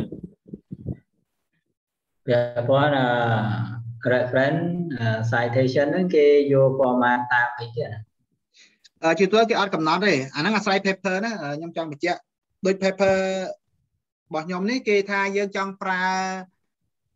គេគេអត់តម្រូវថា format មួយណាប៉ុន្តែយើងចង់ប្រើជា size ជាឈ្មោះក៏បាន size ជាលេខក៏បានវាមានតែពីរ system ហ្នឹងឯងធំជាងគេណា system size ជាលេខ size ដូចខ្ញុំមិញអញ្ចឹងគឺយើងអត់ទៅសេឈ្មោះ author អត់សេទេយើងដាក់តែលេខលេខមកដល់គេមើលលេខហ្នឹងហើយគេទៅមើល reference ទៅបានដឹងឈ្មោះ author ជានរណាអាហ្នឹងមួយមួយទៀតគឺ size របៀបជាឈ្មោះ size ដូចរបៀប APA អញ្ចឹងណាសេឈ្មោះនឹងឆ្នាំអត់ប្រើលេខទេអញ្ចឹងគេគ្រាន់ថាយើងប្រើប្រព័ន្ធណាប្រើទៅប៉ុន្តែមក whole paper របស់យើងគឺត្រូវ follow តាមមួយ rule ទេមិនមែនអាដើមដំបូងសាយជាឈ្មោះអាដើមអាកតុយចុងក្រោយសាយជាលេខអត់ទេឲ្យតែយើងប្រើមួយណាប្រើមួយហ្នឹងអាហ្នឹងចំពោះ OIP របស់ខ្ញុំប៉ុន្តែ journal ខ្លះគេតម្រូវហ្មង APA style ត្រូវតែ APA អញ្ចឹងហ្មងចង់និយាយអញ្ចឹងណាអញ្ចឹងអាហ្នឹងមើលនៅក្នុងអីគេមើលនៅក្នុងអាកន្លែងអឺ author guideline គេណែនាំឡើងហ្នឹងបាទអរគុណវិសាតោះចាប់ដើម អត់ទេខ្ញុំមានសំណួរអីទេចង់និយាយថាតោះថាសរសេរឲ្យសាកល្បង submit ទៅតែអញ្ចឹង step complex ណាអឺអត់អាចសរសេរមុនមុននឹងរក journal ទេមុននឹងសរសេរគឺគិតថាខ្លួនឯងត្រូវបោះទៅ journal ណារក journal ឲ្យហើយអានពី journal ហ្នឹងឲ្យហើយអញ្ចឹងនិយាយចឹងអញ្ចឹងកំឡុងពេលដែលយើង review យើងមើល paper ណា format វាណាល្អទី1មានន័យថា បើយើងមើលអា paper ហ្នឹងបោះពុំហ្នឹងយើងអាចដឹងថាអូ paper ហ្នឹង scope វាគឺអាហ្នឹងហើយអញ្ចឹងយើងសរសេរក៏ scope ធម្មតាបើយើងមើលអត្ថបទណាមានន័យថា feel ដែលយើងកំពុងសិក្សាវានៅលើអាហ្នឹងដែរមិនអញ្ចឹងអញ្ចឹង scope វាមិនខុសគ្នាខ្លាំងទេតែបើយើងទៅព្រាវ search ក្នុង Google ហ្មងអូมันដូចខ្ញុំនិយាយចេញមករាប់លានខ្ញុំខ្ញុំមានចម្ងល់មួយបងបាទមក ចង់សួរកន្លែងពេលយើង submit ទៅបងគេអត់គេអត់អត់ reject យើងទេប៉ុន្តែគេឲ្យយើង revise ឡើងវិញអាហ្នឹងគេប្រាប់ពីកំហុសឆ្គងរបស់ paper របស់យើងហ្នឹងអឺគេអត់ប្រាប់លម្អិតទេគេគ្រាន់ថា paper យើងមានបញ្ហាអត់គ្រប់លក្ខណៈអញ្ចឹងណាគេនិយាយថាប៉ុណ្ណឹងអាហ្នឹងអាហ្នឹងបើបើគេអាហ្នឹងបើកំហុសបច្ចេកទេសគេនិយាយពីកំហុសបច្ចេកទេសទៅប៉ុន្តែគេអត់និយាយលម្អិតថាកំហុសអីទេគេគ្រាន់ថាប្រហែលឥឡូវគេដូចបងករណីបងគេនិយាយថា អត់មាននិយាយបច្ចេកទេសអត់មាននិយាយខ្លឹមសារគេនិយាយថា scope ប្រហែលទេថា out of scope គេនិយាយប៉ុណ្ណឹងចប់អញ្ចឹងណាប៉ុន្តែបើបើបើអត់ខុស scope ទេមានន័យថា paper ហ្នឹងត្រូវ scope របស់គេប៉ុន្តែគឺ quality វាមានបញ្ហាអាហ្នឹងគេគ្រាន់ថា quality មានបញ្ហាចប់គេអត់អត់ថា quality ខ្វះឡើយនេះខ្វះឡើយនោះទេចង់និយាយអញ្ចឹងណាតែបើគេ accept ដំណាក់កាលទី1ហ្នឹងហើយគេបញ្ជូនទៅ reviewer អាហ្នឹង reject មិន reject ក៏គេប្រាប់យើងដែរថាហេតុអីបានគេ reject គេ reject លើផ្នែកអី អញ្ចឹងបើយើងចង់ submit មកឡើងវិញត្រូវកែឡើយនេះឡើយនេះឡើយនេះអញ្ចឹងទៅចង់និយាយអញ្ចឹងណាហើយបើបើគេឲ្យកែដែរប៉ុន្តែកែហ្នឹងវាល្មមដូចខ្ញុំនិយាយមានពីរមាន major និងមាន minor អាគេ reject ហ្នឹងមានន័យថាអាកែហ្នឹងវាសឹងកែទាំងស្រុងហើយបានគេ reject បើថាមកកែ major មានថាកែ major កែចាប់ពីអាចទឹម50%អីឡើងអាហ្នឹង major ហើយប៉ុន្តែ minor ប្រហែល10%អីទេអញ្ចឹងណាអាហ្នឹងគឺគេទទួលហើយឲ្យយើងកែទៅគេគេទុកពេលដូចខ្ញុំនិយាយអញ្ចឹង minor ចន្លោះពីមួយសប្តាហ៍ទៅពីរសប្តាហ៍ major ពីពីរសប្តាហ៍ទៅមួយខែខ្ញុំមិនដឹងថា major វាអាចលើមួយខែអត់ប៉ុន្តែខ្ញុំឃើញអឺ journal របស់មិត្តភ័ក្ដិខ្ញុំមួយបោះនៅអា journal ល្បីជាងគេណាអឺ impact factor វា4ណាធំ impact factor 4ធំគឺគេឲ្យ revise តែមួយខែហើយ reviewer 5នាក់បានតែ paper មួយហ្នឹងមានអ្នកមើល5 paper ខ្ញុំមានអ្នកមើលតែម្នាក់ម្នាក់ឯង អឺមួយទៀតអាអា reviewer វា feel ដូចយើងបេះបិទមកមិនបានវាមើលសមីការមើលឲ្យដឹងច្បាស់បាទធម្មតាអាហ្នឹងអាស្រ័យលើ editor ណា editor គាត់អាចរើស reviewer យើងអត់អាចយើងក៏មានសិទ្ធិរើសដែរពេលយើង submit គេមាន option មួយថាបើយើងចង់ recommend reviewer ប្រាប់គេមកគេនឹងផ្ញើទៅ reviewer ហ្នឹងហ្មងក៏បានដែរអាហ្នឹងបើយើងស្គាល់ច្បាស់ណាអត់អីទេប៉ុន្តែជាទៅយើងអត់សូវមានទេអត់ទៅមានណារើសយក option ហ្នឹងទេគឺ យើងភាគច្រើនយើងឲ្យគេរើសឲ្យយើងអញ្ចឹងណាហើយភាគច្រើនគេមានបណ្ដាញមកគេយើងមិនងាយរកទេហើយមួយទៀតក៏គេនៅក្នុង cover letter ខ្ញុំចង់បញ្ជាក់ដែរ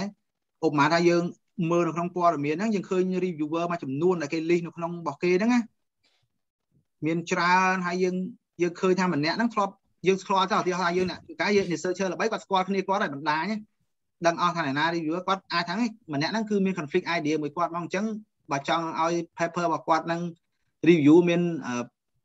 លទ្ធផលល្អឬក៏ជាវិជ្ជមានគឺកុំផ្ញើទៅ review ហ្នឹងយើងអាច suggest ចឹងបានយើងអាចទៅសេនៅក្នុង cover letter របស់យើងបានដែរអញ្ចឹងគេមាន option ហ្នឹងឲ្យយើងទៅសេបានអញ្ចឹង cover letter ហ្នឹងវាទលំទលាយយើងអាចទៅសេ option អស់ហ្នឹងបានលក្ខខណ្ឌអញ្ចឹងបានប៉ុន្តែគេហាមស្គាល់គ្នាគេហាមស្គាល់គ្នារវាង author ជាមួយនឹង reviewer អារឿងស្គាល់មិនស្គាល់អាហ្នឹងដូចខ្ញុំនិយាយហ្នឹងបើយើងយើងស្គាល់ហើយយើងទុកចិត្តថានេះបានព្រោះគេគេជឿលើ professional របស់មនុស្សហ្នឹងយើង recommend ទៅប៉ុន្តែបើគេជឿថាអ្នកហ្នឹងគឺជាមនុស្ស professional មែនអត់អីទេគេនឹងទទួល review ហ្នឹងឲ្យ review ឲ្យយើងបានដូចគ្នាគេអត់ប្រកាន់ហ្នឹងក្នុង academic world គេអត់មានគិតថាអូអាហ្នឹងបាក់ពួកគ្នាអាឯកសារហ្នឹងខុសគាត់នេះអត់ទេអាហ្នឹងប៉ះពាល់ប៉ះពាល់ថ្ងៃក្រោយខ្លួន ហើយ editor មិនមែនគេអត់មើលសោះណាគេអត់មើលតែដំបូងតែនៅពេលមុនបោះពុំគេមើលគេអានមើលឡើងអត់ពាក្យយើងសុំឲ្យ article មួយគេអត់ទុកទេគាត់ថាគេមិនមើល deep ទៀតទេយ៉ាងនិយាយអញ្ចឹងណាគេមិនមើល deep នៅលើ series គេជឿលើហើយធម្មតាប្រព័ន្ធការងារគេគេជឿលើនេះគេជឿលើ professionalism ណាបាទអូខេអញ្ចឹងមានន័យថា editor ហ្នឹងក៏គេមានអ្នកជំនាញនៅលើ editor ដែរណាអ្នក editor មានន័យថាបើបើ journal journal physics គឺ editor ហ្នឹងសិស្សបណ្ឌិតខាង physics អីដូចដូចម្នាក់នេះមិញហ្នឹង John Copy ហ្នឹងគឺបណ្ឌិតផ្នែកអាតូមហើយដល់ខាង editor របស់ខ្ញុំ physics education នេះគាត់បណ្ឌិតខាងខាង nano science ណាចឹងសិតតែអ្នកក្នុង field ហើយអត់មានអត់មានអ្នកធ្វើការនៅហ្នឹងអត់មានអ្នកគ្រាន់តែចេះភាសាអង់គ្លេសមកធ្វើការនឹងបានទេអត់ទេដល់ក្នុង field ហ្នឹងទៀតចង់និយាយចឹង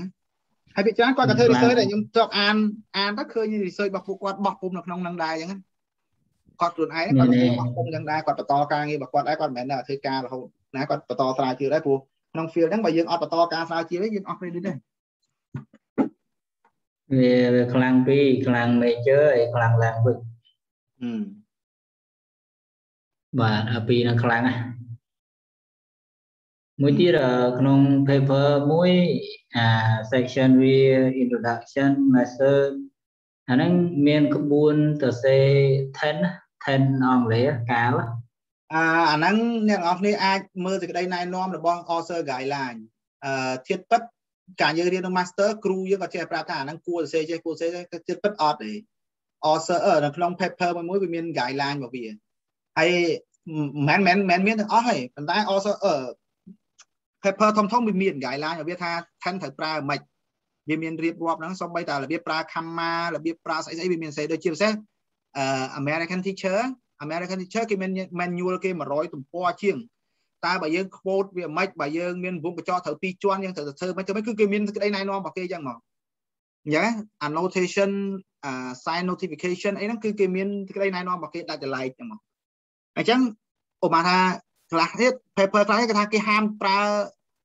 first person ណាមិនថា V មិនថា I គេហាមប្រើតែ paper ដូចពួកអាមេរិកវាថាវា prefer ឲ្យ author ប្រើអាហ្នឹងជាង ជាជាងនិយាយថា author ធ្វើអញ្ចេះ researcher ទៅចេះមិនបាច់គេប្រើប្រើពី I ហ្មងទៅ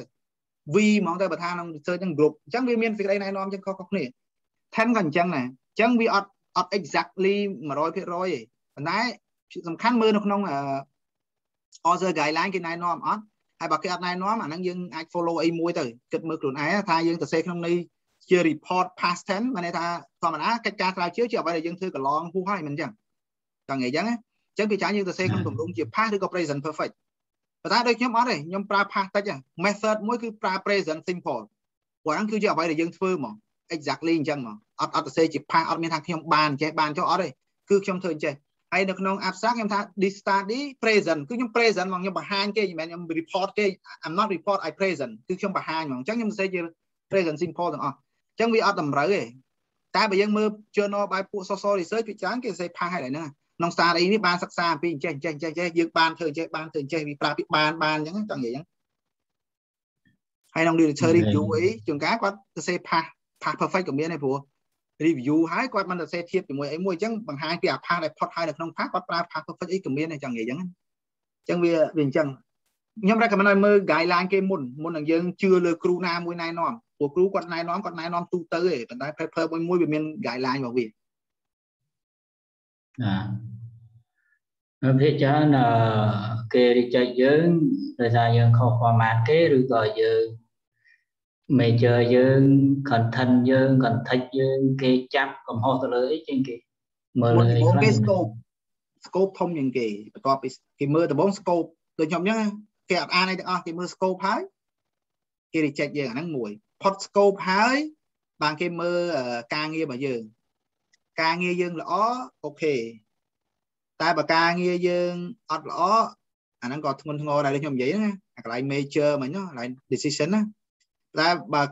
អាការងាររបស់យើងអាច accept ទៅបានចុងក្រោយ language ហ្នឹងហើយ language តែខុសច្រើនពេកក៏គេអត់ accept ដែរណាអាការងារល្អសំដៅលើអីខ្លះការងារល្អនិយាយទៅមកដល់ topic interesting method ថ្មីហើយវា contribute ខ្លាំងទៅក្នុងអា field ហ្នឹងអីចឹងណាអាហ្នឹងថាការងារល្អ អូខេជួនកាលអាខ្លះឧបមាថាដូចវីដេអូរបស់ខ្ញុំណាវីដេអូរបស់ខ្ញុំគឺប្រហែលជា10ឆ្នាំមុនគេធ្វើច្រើនហើយអញ្ចឹងវីដេអូស្ទើរតែលែងសូវមានអ្នកបោះដល់ពេលអា COVID មកហើយកូវីដមកធ្វើអាអាអាស្រាវជ្រាវលើវីដេអូហ្នឹងផ្ទុះឡើងវិញភាសាទៀតប្រហែល OIP ខ្ញុំមើល3ខែចុងក្រោយហ្នឹងសិតតែប្រើ smartphone ហើយនឹងវីដេអូ analysis ទាំងអស់បារាគេប្រើតិចតិចផ្សេងៗគ្នាហើយនៅលើ topic ផ្សេងៗគ្នាអញ្ចឹងណាសិតតែវីដេអូខ្ញុំ scroll មើលឡើងមកព្រឹកទល់ល្ងាចឃើញ សឹងតែ90%គឺសិតតែ research ឬក៏ការស្រាវជ្រាវទាក់ទងនឹងការប្រើពិសោធន៍ក្នុងវីដេអូឬប្រើ smartphone ប្រើអីចឹងទាំងអស់អាហ្នឹងវាអញ្ចឹងអញ្ចឹងយកមកវាទៅនឹងបរិបត្តិដែលកំពុងពេញនិយមអញ្ចឹងណាអាហ្នឹងគេហៅល្អហើយហើយបើយើងប្រហែលក្នុងបរិបត្តិនេះយើងនៅតែបង្ហាញយើងទាំង method ថ្មីធ្វើអញ្ចេះតែអត់យកទៅប្រើបរិបត្តិលើកើតផងអញ្ចឹងអត់ទៅល្អទេចង់និយាយអញ្ចឹងបាទបាទល្អហ្នឹងខ្ញុំសំដៅអញ្ចឹងបាទបាទអរគុណ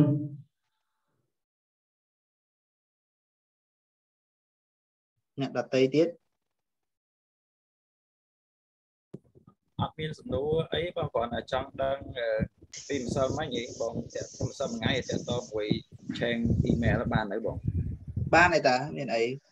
ព្រោះអា account ហ្នឹង account របស់ happy មែនហ្នឹងបើមិនឯងលុបឲ្យបងដាក់ account បងចូលវិញទៅមានអី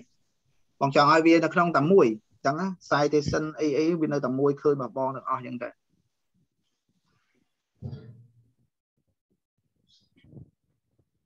មិនអីអ្នកផ្សេងទៀតបូរ៉ាគុនធីអីមានសំណួរទេបងខ្ញុំសុំសួរបាទមកអឺចង់បញ្ជាក់លើមិនបងថាមុននឹងចាប់ផ្ដើមសរសេរ manuscript ហ្នឹងគឺត្រូវទៅមើល journal ណាដែលយើងចង់បោះពុំនៅនឹងឬក៏ចង់អឺមុនពេលដែលចាប់ផ្ដើមសរសេរ paper ព្រោះខ្ញុំអឺស្ដាប់កន្លែងហ្នឹងអត់អត់តន់មែនអឺជាតិពិតអឺវាមិនតម្រូវឲ្យ journal គេមិនតម្រូវយើងប៉ុន្តែបទពិសោធន៍ បើ journal ខ្លះគេគេណែនាំហ្នឹងណាគេថាដើម្បីចំណេញពេលឲ្យបទពិសោធន៍បងដូចគ្នាដើម្បីឲ្យចំណេញពេលអាហ្នឹងវាមានតែកត្តាពេលទេវាមានអីទេ research របស់យើងយើងរកឃើញលទ្ធផលមិនគឺវាអញ្ចឹងមិនមែន journal មកឲ្យយើងកែលទ្ធផលទេប៉ុន្តែគឺចំណេញពេលអញ្ចឹងដើម្បីឲ្យចំណេញពេលមានន័យថាមុននឹងយើងសរសេរដើម្បីបោះពុម្ពអាហ្នឹងមកពេលយើងសម្រាប់សរសេរដើម្បីបោះពុម្ពណាបើយើងសរសេរត្រឹម dissertation ហើយបើយើងអាហ្នឹងមិនខ្វល់ទេតែបើយើងសរសេរដើម្បីបោះពុម្ពយើងគួរតែគិតអំពី journal ដែលយើងចង់បោះពុម្ពមកហើយ អញ្ចឹងទៅមើលអា journal ហ្នឹងយើងពេញចិត្តយើងឲ្យយើងមាន confidence ថាយើងអាចភាសាឬក៏ចំណេះដឹងភាសាយើងអាចនឹងបោះពុម្ពនៅត្រង់ហ្នឹងបានយកអាហ្នឹងមកយើងយក format ឲ្យវាមកហើយដល់និយាយចឹងណាប៉ុន្តែ journal មួយចំនួន journal មួយចំនួនគេអត់មាន format ឲ្យយើងទេ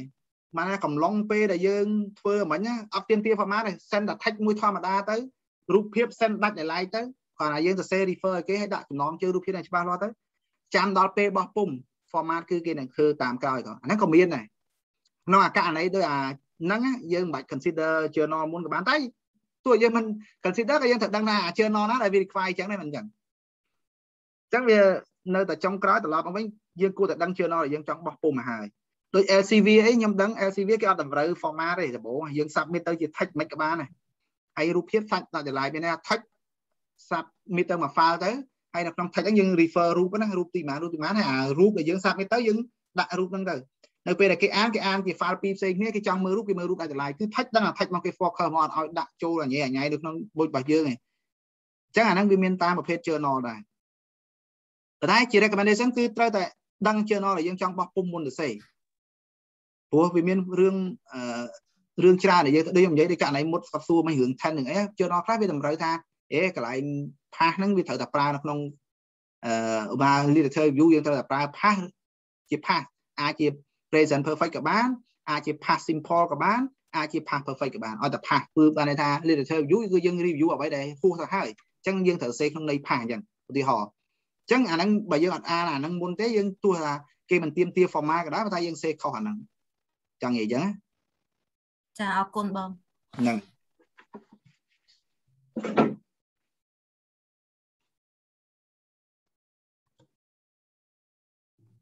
ស្ងាត់ឈឹងអស់សំណួរ ចាប់តាមហ្នឹងដូចជាអត់មានអីផងសម្រាប់ខ្ញុំបាទអត់មានបាទសំដោយណួសាររអីតទេតាបអងនុវត្តអនុវត្តបានដឹងកន្លែងដែលសួរអេហ្នឹងហើយដល់ពេលអនុវត្តគឺព្យាយាមធ្វើការមួយ editor ឆ្ងល់អីគឺសួរទៅគេហើយហ្នឹងគេភាគច្រើន send mail មកហើយអឺមានបញ្ហាអី feel free to contact us គេដាក់អញ្ចឹងណាតែមិនកាដាច់ធ្វើលើកមុន ព្រោះឯកាធ្វើលើកមុនគាត់ឲ្យ edit ប៉ុន្តែខ្ញុំមិនមែនអ្នក submit អញ្ចឹងទៅខ្ញុំចេះតែ edit តាមគាត់ប៉ុន្តែអត់ដឹង submit របៀបម៉េចហ្នឹងហើយអឺស្នើសុំអឺក្រុមអ្នក edit ហ្នឹងអាយុប៉ុន្មានហ្នឹងយល់អឺជាទូទៅចន្លោះ30ទៅ40ក៏មានមាន50ក៏មានអញ្ចឹងពិបាកថាអត់អត់ទៀងទេអាស្រ័យលើ journal journal ខ្លះវាបើករៀង commercial សិស្សក្មេងៗដែរមិនសូវប្រកែហ្មងទេ បើគ្រាន់តែលុយឲ្យពិសេសពួកឥណ្ឌាពួកប៉ាគីស្ថានពួកទូគីអីហ្នឹងណាតែបើពួកអង់គ្លេសពួកអាមេរិកអីភាគច្រើនគាត់ចំណាស់ចំណាស់គួរសមចាប់ពី50ឡើងសិនអ្នកបត់មានបត់ពិសោធន៍ក្នុងការបរៀននឹងធ្វើការលើ field យូរយូរអីចង់និយាយអញ្ចឹងណាហ្នឹងហើយហើយបើថា exact ម៉ានមកខ្ញុំក៏ពិបាកថាដែរ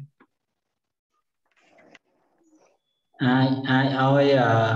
format ដែលបង្ហាញមិញណាមាន track chain មានអឺ response point to point response នេះឲ្យជា PDF ដាក់អត់អីទេចាំមើលខ្ញុំថាឲ្យជាមកបង្ហាញយល់ចាំខ្ញុំឲ្យមក package អា paper ចុងក្រោយមួយចុះយកទៅមើលខ្លួនឯងខ្ញុំដាក់ជា folder folder ឲ្យស្រាប់ឲ្យចូលមើលក្នុងហ្នឹងហ្មងតែចាំខ្ញុំឲ្យមក folder ទៅហ្មងហើយព្យាយាមមើលអាហ្នឹងក៏អាចយល់ដែរពីរបៀបដែលខ្ញុំ format តែមនុស្សរបៀបទុកឯកសារមនុស្សម្នាក់ៗមានរបៀបទុករៀងខ្លួនទេប៉ុន្តែខ្ញុំខ្ញុំដាក់អញ្ចឹងពេលខ្ញុំ first submit មានឯកសារខ្លះខ្ញុំដាក់ម្ដុំពេលខ្ញុំ